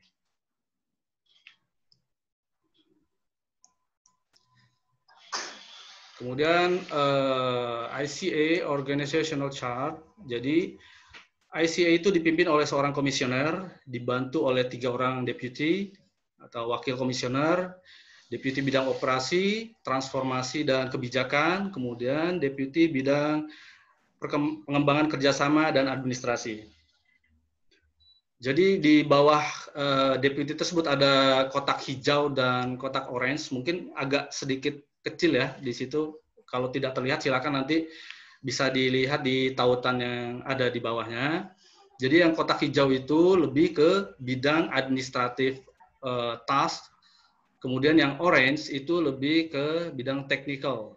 Jadi di yang orange itu ada director enforcement, direktur untuk penegakan hukum, yang di bawahnya ada commanders, terus commanders itu membawahi lagi uh, checkpoints atau kalau di Indonesia konteksnya tempat pemeriksaan imigrasi. Kemudian uh, next kita lihat, nah imigrasi Singapura, eh, ICA maksud saya, ICA memiliki tiga jenis checkpoints darat, laut, dan udara. Untuk checkpoints di udara ada lima tempat, bisa dilihat di sini, Airport Logistics Park of Singapore, Changi Air Freight Center, Changi Airport, Parcel Post Section, dan Seletar Airport. Kalau kita lihat di sini, memang ada fungsi uh, logistik ini mungkin lebih ke di Indonesia bea cukai, sama dengan Air Freight, Air Freight Center, uh, ini untuk uh, barang. Airport ini ke bidang keimigrasiannya orang, kemudian ada parcel post section dan Seletar Airport. Nah, kemudian untuk land checkpoints, land checkpoints itu ada di Tuas checkpoints, Woodlands checkpoint, Woodlands train checkpoint. Uh, checkpoints ini berbatasan langsung dengan uh, Malaysia melalui jembatan penyeberangan yang ada di Selat Singapura. Jadi cuma ada tiga kebetulan Indonesia tidak memiliki perbatasan darat dengan Singapura. Kemudian untuk checkpoints, sea checkpoints itu ada 19 karena Singapura memang negara kalau bisa kita bilang sebagai apa negara hub untuk barang goods. Jadi mereka memiliki banyak sekali uh, checkpoints ini nanti bisa dilihat di situs mereka. Kemudian Immigration Act. Singapura memiliki undang-undang keimigrasian. Nanti sebentar saya share juga. Ya, ini. Jadi undang-undang keimigrasian di Singapura mungkin bisa nanti bagi teman-teman, rekan-rekan yang tertarik di bidang hukum, untuk membandingkan mungkin ya imigrasi Indonesia dengan imigrasi Singapura, apa saja yang diatur di sana, apa saja yang belum diatur di Indonesia atau saling melengkapi nantinya. Kita lihat misalnya di interpretation sama dengan di Indonesia, di sini ada penjelasan tentang istilah Advanced Passenger Information atau API. Dari Singapura sudah mengadopsi API di dalam undang-undang mereka. API. Jadi kalau di bea cukai mungkin sudah ada API PNR sudah sudah berlangsung, cuma di imigrasi mungkin masih dalam proses menuju ke arah sana. Di sini bisa kita lihat uh, preliminary mungkin uh, lebih ke penjelasan di awal, kemudian ada entry and departure from Singapore. Kita lihat di sini uh, petugas imigrasi di sini memiliki kewenangan yang sama. Jadi uh, memiliki kewenangan untuk menolak orang asing yang masuk ke wilayahnya dengan berdasarkan uh, security issues atau alasan-alasan seperti dua alasan ekonomi, industrial, social, educational, or other condition in Singapore. Jadi jelas di sini, uh, dijelaskan secara detail. Kemudian bisa kita lihat Singapore Visas for Non-Citizens. Di sini bisa ada, jadi uh,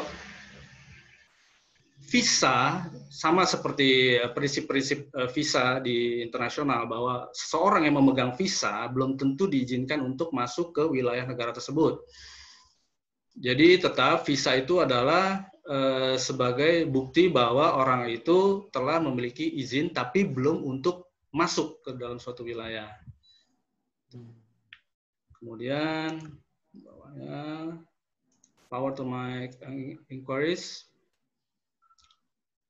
Nanti eh, rekan-rekan uh, bisa melihat di tautan yang saya berikan, mungkin saya tidak bisa berpanjang lebar, kita lebih ke insight sebenarnya. Untuk uh, biar lebih paham sedikit apa itu ICA dan apa itu apa eh, hal-hal uh, yang diatur dalam ICA. Ini contohnya examination of person by arriving by sea. Jadi rekan-rekan dari Politeknik mungkin yang mau pelajari bidang hukum bisa lebih mendalam mempelajari undang-undang di negara lain. Kemudian di sini, nah, power to arrest person di pihak ICA Singapura memiliki kewenangan seperti polisi, jadi bisa melakukan penangkapan, penangkapan, kemudian bahkan di sini bisa mengajukan langsung ke pengadilan sebagai prosecutor immigration prosecutor. Nah, kemudian interpretation, ini kita lewatkan saja. Nah, ini yang tadi saya jelaskan, authority of immigration officer to arrest and prosecute. Ternyata memang uh, immigration officer di Singapura memiliki kewenangan untuk sampai mengajukan penuntutan ke pengadilan. Kalau di Indonesia masih kita serahkan ke kejaksaan. Kemudian, nah di immigration officer to be armed di Singapura, immigration officer shall be provided with such batons. Ini tongkat persenjataan mungkin ya persenjataan, amunisi dan izin, kelengkapan izin, lain. Pak Yanos. Ya. Slide-nya uh, bisa di ini Pak ya di scroll lagi Pak. Ini masih macet sepertinya. Oke. Okay. Oke. Okay. Waktunya lima menit lagi. Oke, okay, lima menit lagi. Ini sudah selesai. Kita kembali ke sini. Nah, untuk teknologi yang digunakan uh, electronic arrival card di Indonesia kita sebut ED-card. ED-card itu sudah dihapuskan di dalam eh, peraturan keimigrasian Indonesia. Kalau Singapura masih ada dalam bentuk elektronik. Mereka sudah menyiapkan ini nih mobile app. Jadi sebelum datang ke Singapura, uh, pengunjung harus mengisi terlebih dahulu uh, SG arrival card sebelum sebelum tiba di pemeriksaan keimigrasian di Singapura.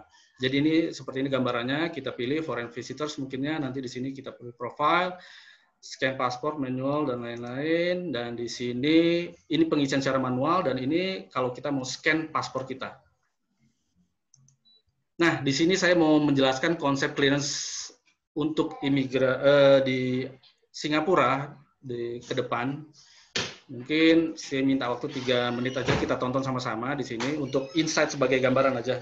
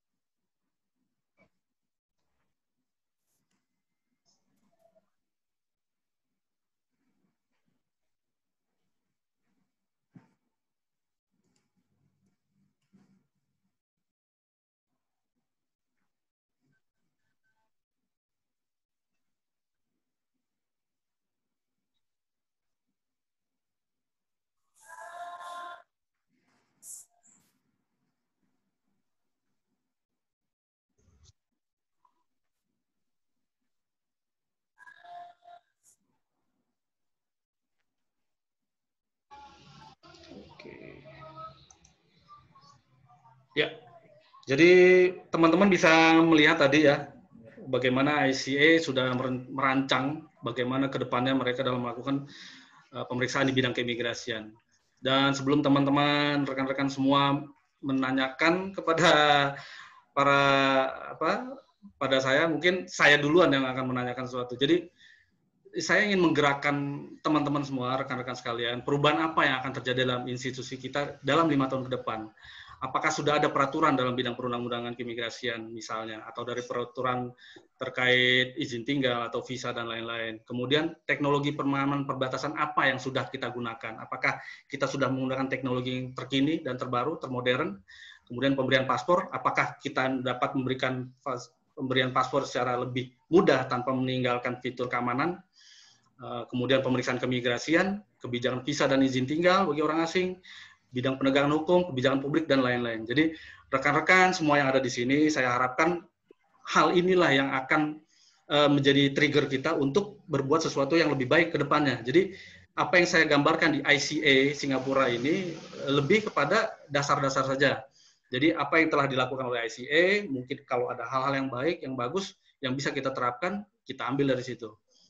Jadi mungkin itu saja dari saya. Silakan Mbak Mila. Baik, terima kasih Pak Yanos. Berikutnya langsung bergeser dulu ke pembicara terakhir. Beliau adalah full-time lecturer di and the head of quality assurance and internal audit di Politeknik Imigrasi. Kami persilakan Bang Ridwan. Baik, terima kasih. Assalamualaikum warahmatullahi wabarakatuh. Selamat ah. siang waktu Indonesia Barat, selamat sore waktu Adelaide. Um, uh, kali ini kali ini saya akan membahas tentang bagaimana sih border security and management di Australia. Um, dan ini pengalaman juga selama belajar di sini um, bagaimana cara apply visa, bagaimana cara masuk ke imigrasi Australia dan seluk-beluknya. Um, tadi udah dijelaskan oleh dari Bea Cukai Pak Teddy, kemudian Galuh dan Pak Yano, sekarang uh, bagian Australia. Nah, perkenalkan, nama saya Ridwan Arifin. Sinta ID adalah uh, terkait apa? Terkait publikasi saya. Ini juga tentang ID, ID publikasi saya, Google Scholar publikasi-publikasi saya. Silakan dibaca di sini tentang keimigrasian, kebanyakan tentang keimigrasian dan perbatasan.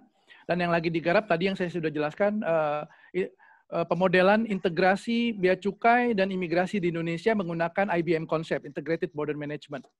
Ini medsos saya, silakan. Dan ini alamat surel saya. Agenda kali ini singkat saja, saya akan membahas tentang institusi atau lembaga uh, perbatasan di Australia, dasar hukumnya, legislation, um, border management, manajemen perbatasan dan per keamanan perbatasan di Australia. Bagaimana sih mereka mengamankan negaranya?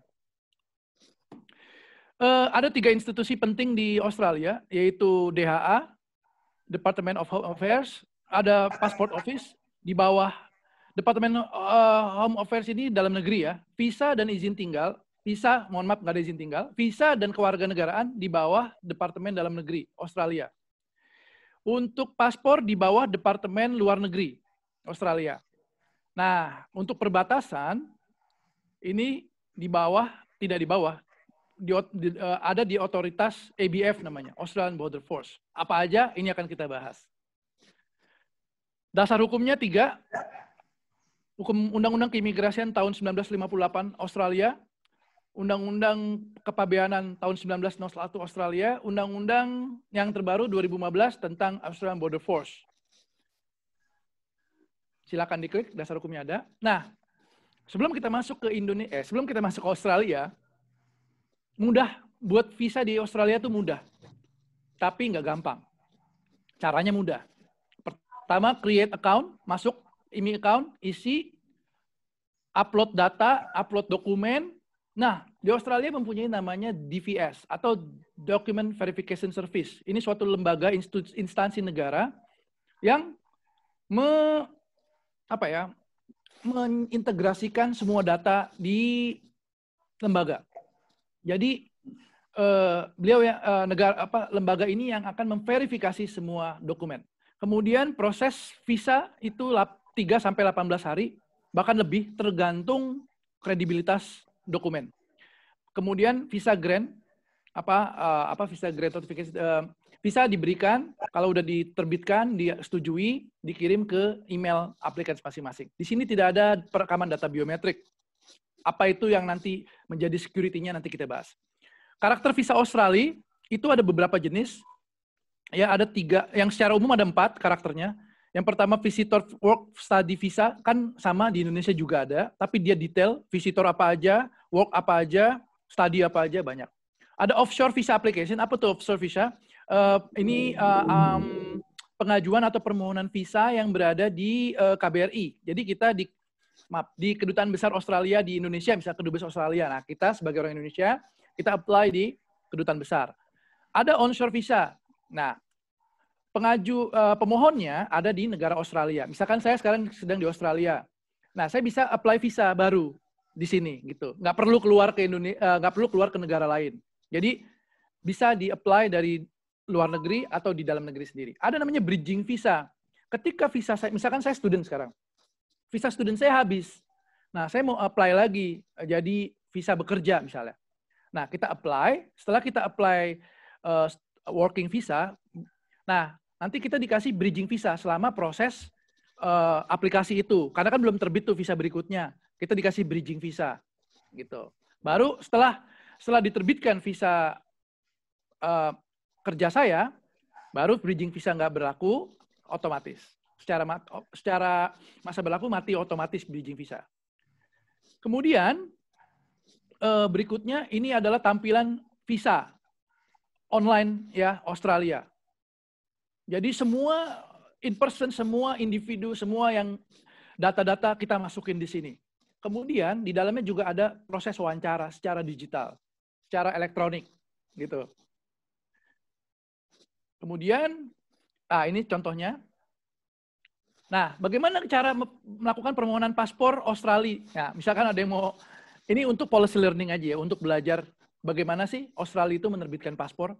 Gampang. Pertama, tetap create account, ya, uh, create account, login, kemudian fill the form, isi formulir, Kemudian masukkan data-data, upload semua data dokumen yang dibutuhkan seperti SIM, uh, akte lahir. Kemudian di VS, lembaga tadi akan memverifikasi lagi. Proses permohonan paspor terbitnya selama tiga minggu. Ya, di Australia ini tiga minggu. Kemudian uh, setelah jadi, paspor akan dikirim ke email, mohon maaf bukan email, ke mail ya. Mail itu alamat rumah masing-masing, pakai Australian Post. Jadi eh, nggak perlu data datang, nggak perlu apa pun itu ngapain, nggak perlu foto, nggak. Tapi di berkasnya ada foto nanti. Nah, foto itu akan direkognisi. Nah, seperti ini tampilannya. Um, tampilan permohonan paspor mau apa, mau apply baru, ya. Kalau hilang atau hilang atau tercuri bagaimana? Di sini ada semua lengkap. Nah, ini harga paspor di Australia ya untuk paspor 10 tahun masa berlaku 10 tahun harganya 2 juta 908 sorry 290 dolar Australia sekitar kali 10 ribu sekarang. Terus paspor 5 tahun 150 dolar atau sejuta 500 dan seterusnya dan seterusnya. Kemudian ada bisa pembuatan paspor how long to get a passport? Bisa nggak cepat? Bisa ada aplikasinya cepat. Nah kenapa butuh cepat paspor tersebut? Itu ada eh, syarat-syarat tertentu Nanti apply, nanti lodge di situ. Masukin semua dokumen-dokumen kita dan alasan-alasan kita. Nah, ada juga paspor, permohonan paspor, proses permohonan paspor in person. Artinya kita tidak melalui uh, aplikasi ya. Pertama download, unduh application form atau unduh uh, formulir permohonan, kemudian isi, kemudian siapkan dokumen. Nah, ini ini kirim dulu nih sebelum ini. Mohon maaf nih satu nih. Ini kirim melalui pos. Kita ngirim melalui pos. Ada satu langkah terlewati. Jadi kita ke kantor pos, kirim semua dokumen kita melalui kantor pos. Kirim ke kantor uh, di kantor pos ke kantor paspor atau passport office. DVS akan verifikasi proses tiga minggu. Baru kalau udah jadi, kirim ke rumah masing-masing. Gitu. Nah, kantor imigrasi Australia, mohon maaf, uh, kita sebut saja, ya kantor imigrasi ya, katakanlah kantor imigrasi Australia yang menerbitkan paspor itu ada 1.600 seluruh Australia. Bahkan sampai sini nih, nggak tahu nih apa nih, Christmas Island kali ya. Nah, di sini. Jadi ada perwakilan-perwakilannya di sini. Itu. Ada 1.600 kantor imigrasi yang menerbitkan paspor di Australia. Di seluruh dunia, seluruh KBRI lebih dari 100 negara. Jadi di mana-mana KBRI, KJRI, uh, High Commission Australia ada di mana-mana bisa menerbitkan paspor. Nah, sekarang kita masuk ke Australian Border Force. Tadi udah, visa udah, paspor udah, sekarang kita border, perbatasan. Bagaimana Australia menjaga perbatasan dengan sangat ketat. Tahun 2000 hubungan Indonesia dengan Australia down sekali. Tahun 2014 eh sorry, maaf, tahun 2009 2010 down lagi. Nah, sekarang lagi bagus tapi up and down. Ini adalah ABF, Australian Border Force. Bisa dilihat, bisa di apa namanya diunduh aja yang hal-hal yang penting. Kemudian, nah ini adalah hmm, struktur organisasi ABF ya, atau lingkungannya, katakanlah lingkungannya ABF, Australian Border Force, gitu. Nah, di situ hmm, ada bentuk tiga bentuk yaitu operations, directions, dan partnerships. Nah, partnershipnya sama siapa aja? Ini ada, bisa di download ini source-nya IBU 2020. Silakan download ABF 2020. Di sini ada masuk semuanya visa, di sini masuk semua custom, segala macam di sini. Detention, Bakamla, Hall of Government di sini semua masuk. Ya, satu seragam. Seragamnya seperti ini. Satu seragam semua. Ada pangkatnya, tapi udah cukup pangkat aja. Sama ini, Australian Border Force, di sini nama. Sini IBF. Udah, nggak banyak. Kemudian, konsep atau elemen IBF itu C3 model. Ini bukan form pemilu ya, C3. Ini adalah C-nya pertama adalah comment, yang kedua adalah control, yang ketiga adalah coordination. Ya. Comment itu dia yang paling tinggi itu adalah head of ABF ya. Director of ABF, kepala ABF itu paling tinggi. Dia membawahkan beberapa uh, lembaga dan atau kementerian atau departemen di sini sebutnya. Bahkan polisi uh, polisi di daerah ya. Department of Defense apa Menhan ya di Indonesia-nya. Department of Agriculture, Water Resources, terus apa eh, KPAI eh KPI KPAI anak ya Komisi Perlindungan Anak mohon izin uh, bang menit ya. lagi bang ya berapa lima ya lima menit oke okay ini ya elemennya ya. Kemudian nanti dibaca aja. Nah, border management di Australia itu menggunakan pre-clearance. Ya. Jadi kita wajib apply visa. Nggak ada bebas visa, kecuali ada tiga negara. Kemudian, setelah kita apply visa di kedutaan besarnya, nah, di setiap, uh, di Indonesia ada dua, tiga, eh, maaf, ada dua bandara, ada dua airports yang ada petugas imigrasi Australia, uh, namanya Airline Liaison Officer. Dia naradamping. Dia bertugas di check-in counter. Ya, dia bertugas di check-in counter di keberangkatan di airport di Indonesia. Ini dia. Tugasnya apa? Mengecek. Mengecek dokumen. Padahal kan udah ada API dan NPR tadi yang udah dijelasin ya. Eh, PNR, maaf. Passengers Name Record. Nah, dia tetap ada alo namanya. Nah, ada dua jenis alo. Ada yang terbuka, ada yang tertutup. Jadi ada intelijen terbuka, ada intelijen tertutup. Di di airport di Indonesia. Enggak cuma di Indonesia sih, sebenarnya di seluruh dunia yang menuju Australia. Baru masuk ke perbatasan, border control dia. Baru ada ada raid and operation. Baru ada saat keluar. Semua orang atau passengers penumpang yang keluar eh, dari Australia melalui automation atau melalui smart gate namanya, auto gate. Udah tidak dilakukan pemeriksaan secara manual. Ada standby untuk bagi yang paspor nyangkut, paspor yang kurang kredibel. Nah, ini border security-nya, dia pre-clearance juga. Ini bagi yang pemilik visa, masuk ke Australia dengan isi ID card, dengan isi kartu kedatangan. Kartu kedatangannya nyatu, ada kartu imigrasi dan kartu kedatangan bea cukai, customs. Jadi di situ ada. Kemudian baru langsung ke uh, proses pemeriksaan keimigrasian. Nah, petugas imigrasi bertanya tentang customs juga, customs compliance-nya. Misalnya gini, um, oh, misalkan Ridwan ya, ya, dia akan bertanya, uh, do you bring cigarettes misalnya? Ini kan cigarettes, rokok adalah hal yang sangat terbatas di Australia. Do you bring cigarettes kayak gitu? Dia udah nanya dulu, baru pemeriksaan bagasi. Pemeriksaan bagasi itu ketika landing pesawat landing, bagasi kita masuk X-ray dulu, dicek. Kemudian baru keluar, baru uh, baru kita masuk ambil bagasi, kemudian pemeriksaan customs. Nah, di depan ada petugas yang berdiri juga, nanya, dia ngeliatin, dia memprofile kita apa yang kita bawa ada di baggage. Baru masuk biosecurity check. Biosecurity itu ada uh, departemen kehutan, uh, agriculture, pertanian, segala macam uh, kesehatan, semua ada di sini. Dia masuk apa apa masuk um, kategori apa nih resiko passengernya. Nah, untuk yang bebas visa, untuk negara bebas visa itu ada uh, New Zealand, dan UK dan US untuk ke Australia. Dia bebas visa. Ya, New Zealand, UK, US. Nah, ini dia sama tetap, tapi dia dapat tiga orang ini, tiga penumpang ini, bahkan negara, bahkan Australia sendiri, bahkan Australia sendiri, ya uh, wajib isi kartu kedatangan, masih manual, terus tapi mereka masuk ke smart gate apa namanya masuk ke autogate ya.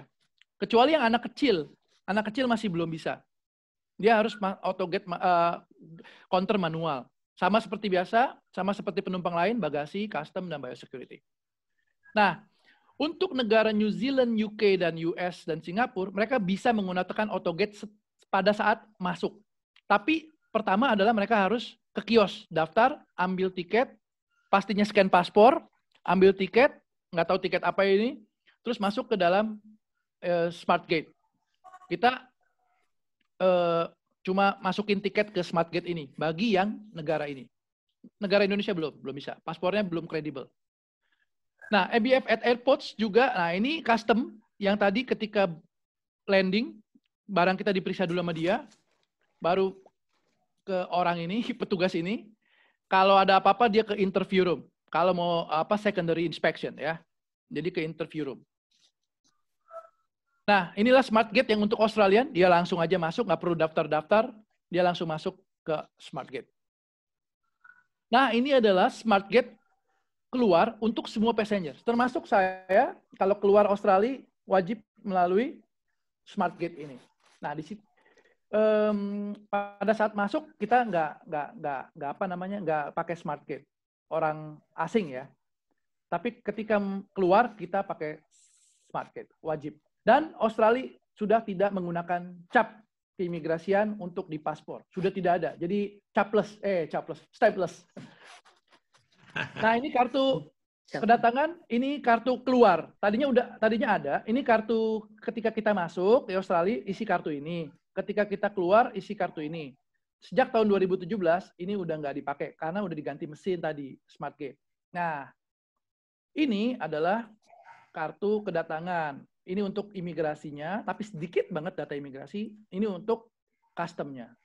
Banyak. Ntar dicek sama dia. Nah, ini adalah risk management atau border security risk management Australia. Di laut, mereka punya IBF Patrol at Sea, bekerja sama Bakamla Indonesia juga. Ini yang asylum seekers, ini illegal fishing dari Vietnam. Nah, ini boatsnya dia yang kecil. Paling kecil, nggak tahu ini berapa GT. Satu menit terakhir, Bang, izin. Satu menit terakhir, ini adalah slide terakhir. ini adalah um, Australian Border Force rate-nya ya, rate. Uh, rate and operation. Apa sih kalau di Indonesia itu um, timpora istilahnya, wasdakimnya, pengawasan dan penindakannya. Jadi dibekali alat dengan rompi lengkap, bahkan dipersenjatai, ya ada borgol lengkap, ada center, ada uh, handy talkie, Nah, dia ketok dulu, nggak main dobrak-dobrak ya. Demikian, terima kasih. Assalamualaikum warahmatullahi wabarakatuh. Waalaikumsalam. Baik, terima kasih Bang Ridwan. Tadi kayaknya ada yang raise hand. Mungkin oh. bisa di bisa unmute. Tadi hand apa kepencet kayaknya ya? Siap, ada?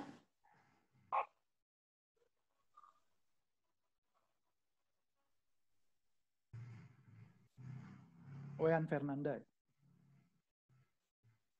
Apakah ada yang ingin menyampaikan ada. pertanyaan langsung? Itu ada Wean Wean Fernanda.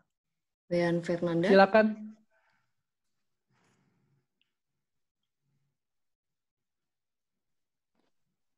Oke, kayaknya kita move ke pertanyaan yang di chat dulu, Bang ya. Iya. Baik, ada dua pertanyaan. Yang pertama, apakah memperlakukan Eh, terkait Singapura dan Australia, apakah memperlakukan peraturan khusus di bidang keimigrasian terkait pandemi COVID? Misalnya, WNA yang masuk harus memenuhi syarat terkait biaya karantina, kemudian sistem auto gate di Singapura atau Australia, apakah juga mengakomodir masa berlaku izin tinggal? Silakan ke Bang Bang Ridwan atau Pak Yanus dulu. Oke, saya coba dulu ya. Untuk um, COVID-19 ini, um, kebijakan keimigrasian di Australia untuk COVID-19 ini totally close border. Jadi semua tutup, nggak ada yang masuk kecuali tiga. Yang pertama itu uh, warga negara sendiri. Yang kedua permanent residence, PR. Yang ketiga itu immediate family. Immediate family itu hmm, keluarganya PR. Gitu. Misalkan dia PR, walaupun keluarganya pemegang visa kunjungan, dia boleh masuk. Tapi ketat, eh, kadang juga nggak boleh. Itu tergantung otoritasnya. Nah, untuk warga negara lain yang misalnya subjeknya misalnya dia bekerja, work itu nggak tetap nggak boleh. Kemudian yang apa namanya eh, student juga nggak boleh. Bahkan seorang student nggak boleh masuk ke Australia. Bahkan antar negara bagian perbatasan negara bagian Australia, misalkan Australia Selatan saya di sini, dengan Australia uh, bagian barat West Australia Perth itu tutup misalnya. Dan sama Melbourne sekarang tutup. Antar negara bagian close border. Nah itu um, uh, pemberlakuan COVID ya pemberlakuan kebijakan keimigrasian dan perbatasan selama COVID di sini jadi totally close border nggak ada yang bisa masuk sampai until further notice hmm, kemudian untuk barang masih bisa masuk boleh untuk eksportir, uh, ekspor-ekspor atau import masih bisa masuk. Jadi uh, ekonomi masih tetap jalan di sini, masih tetap tumbuh, gitu. Nah, bagi kami yang terstranded di sini, student itu kita dibekali insentif. Jadi dikasih ke setiap student, international students, national student, domestic students, atau pekerja uang tambahan, kayak gitu. Jadi nggak usah khawatir. Kemudian sistem autogate di Australia, apakah mengakui masa ah Australia tidak mengenal izin tinggal, uh, hanya visa. Semua ada di visa. Visa itu ada visa, izin tinggal, merek, apa, entry permit ya, semua ada di situ. Jadi only single systemnya itu namanya visa, nggak ada lagi izin tinggal. Jadi dia akan mendeteksi visa masa berlaku visa tersebut, kapan tinggal berapa lama. Jadi visa Australia itu udah lengkap, kapan kita harus keluar dari Australia, kapan kita harus datang, kapan kita harus memperpanjang, kapan kita uh, wajibnya apa aja. Di visa itu udah ada kewajibannya, namanya condition. Wajib apa, apa-apa itu situ ada. Nggak boleh apa, uh, harus apa, syaratnya apa. Ada di satu lembar visa. Paper biasa gitu aja. Demikian. Baik, uh, lanjut ke pertanyaan berikutnya Bang tentang Australia.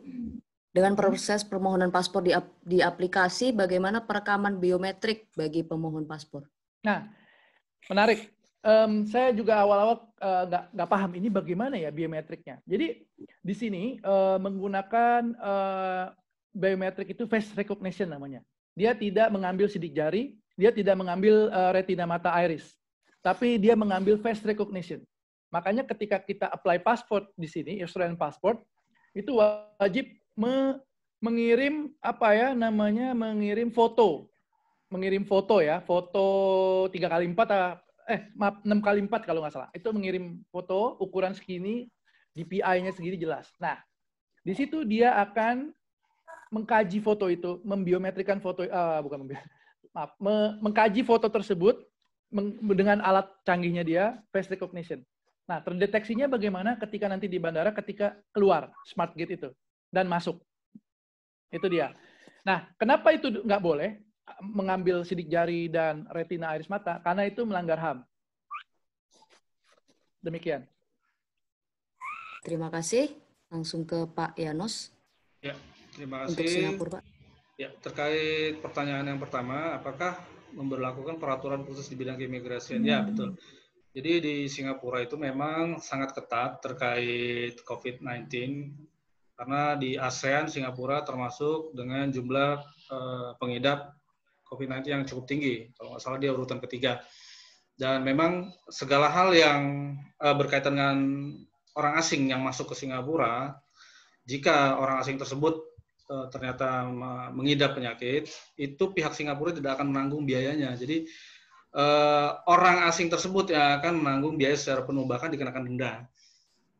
Kemudian autogate di Singapura apakah mengakomodir masa berlaku izin tinggal. Jadi kalau di Singapura mereka sudah mengadopsi API PNR. Jadi sebelum orang asing masuk ke Singapura, mereka sudah terdata sebelumnya sebelum sebelum berangkat sebelum berangkat ke Singapura. Jadi kalau memang kita tidak memiliki visa, kalau untuk Indonesia kita punya kerjasama bebas visa kunjungan, jadi tidak ada masalah kalau cuma untuk uh, wisata.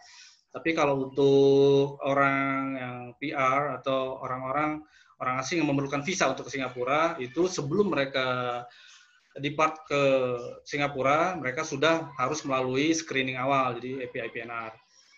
Kemudian yang ketiga di situ ada apakah ada denda ketika durasi kunjungan yang sudah ya. disajikan pada aplikasi terkait overstay. Ya. Penalty overstay, Pak, izin. Iya, penalti denda ya, penalti overstay ya. hmm. ya. Jadi kalau untuk uh, Indonesia sudah melakukan kerjasama bebas visa kunjungan dengan Singapura sebagai turis. Kalau di awal dulu pernah pengalaman, ini saya mungkin uh, secara aturan uh, belum terlalu mendalami apakah memang uh, isi dalam edikat yang telah kita tulis itu uh, berlaku secara apa ya secara penuh gitu. Tidak boleh lebih dari waktu yang di apa yang kita isikan. Tapi memang uh, di di negara-negara tertentu sangat ketat mungkin untuk pengisian di edikat tapi untuk Indonesia sendiri, kalau kalau kita bicara konteks Indonesia, memang di dalam Medicard itu tertulis misalnya kita akan pulang tanggal sekian misalnya, misalnya ada, tapi memang karena kita sudah mempunyai diberikan izin tinggal selama 30 hari, lewat dari itu pun sebenarnya tidak ada denda. Nah, kalau untuk Singapura mungkin saya harus dalami lagi lebih lanjut apakah ada atau tidak. Mungkin itu saja. Terima kasih. Demikian tadi adalah diskusi yang sangat menarik ya. Sebetulnya masih seru untuk dikulik, tapi keterbatasan waktu. Baik, selanjutnya saya mengundang teman-teman untuk start video supaya kita bisa capture ya uh, gambar Zoom kita pada hari ini. Silakan teman-teman. Baik, ya, lumayan, mantap. Muncul semua. Muncul semua. Oke, bisa dibantu capture ya. Oke. Okay.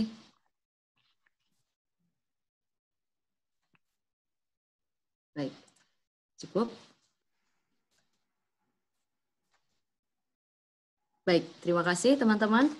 Itu tadi diskusi kita pada pagi hari ini. Terima kasih atas partisipasinya. Apabila ada pertanyaan, karena saya yakin masih sebetulnya masih pengen tanya lebih lanjut, silakan langsung aja ke Instagram kami di CMBS Indonesia atau ke CM, uh, eh, sorry ke Instagram masing-masing pembicara ya.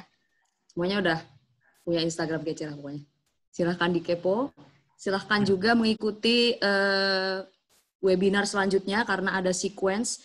Jadi akan ada fortnightly webinar berikutnya. Jadwalnya bisa kalian cek juga di Instagram lengkap. Ada juga di website kami. Untuk materi nanti bisa diunduh di website juga Bang ya, izin. Bisa, oke. Okay. Uh, kesimpulan pada siang hari ini, bahwa untuk ke depannya tetap perlu ya adanya policy learning dari berbagai negara, terutama terkait kebijakan perbatasan, kepabeanan, dan keimigrasian. Dan untuk integrasi sendiri nantinya diperlukan mungkin ya integrasi kesisteman tentang uh, sorry among border agencies yang ada di Indonesia. Terima kasih. Uh, kami mohon maaf atas segala keterbatasan dan kekurangan. Semoga semua dalam keadaan sehat selalu. Selamat siang.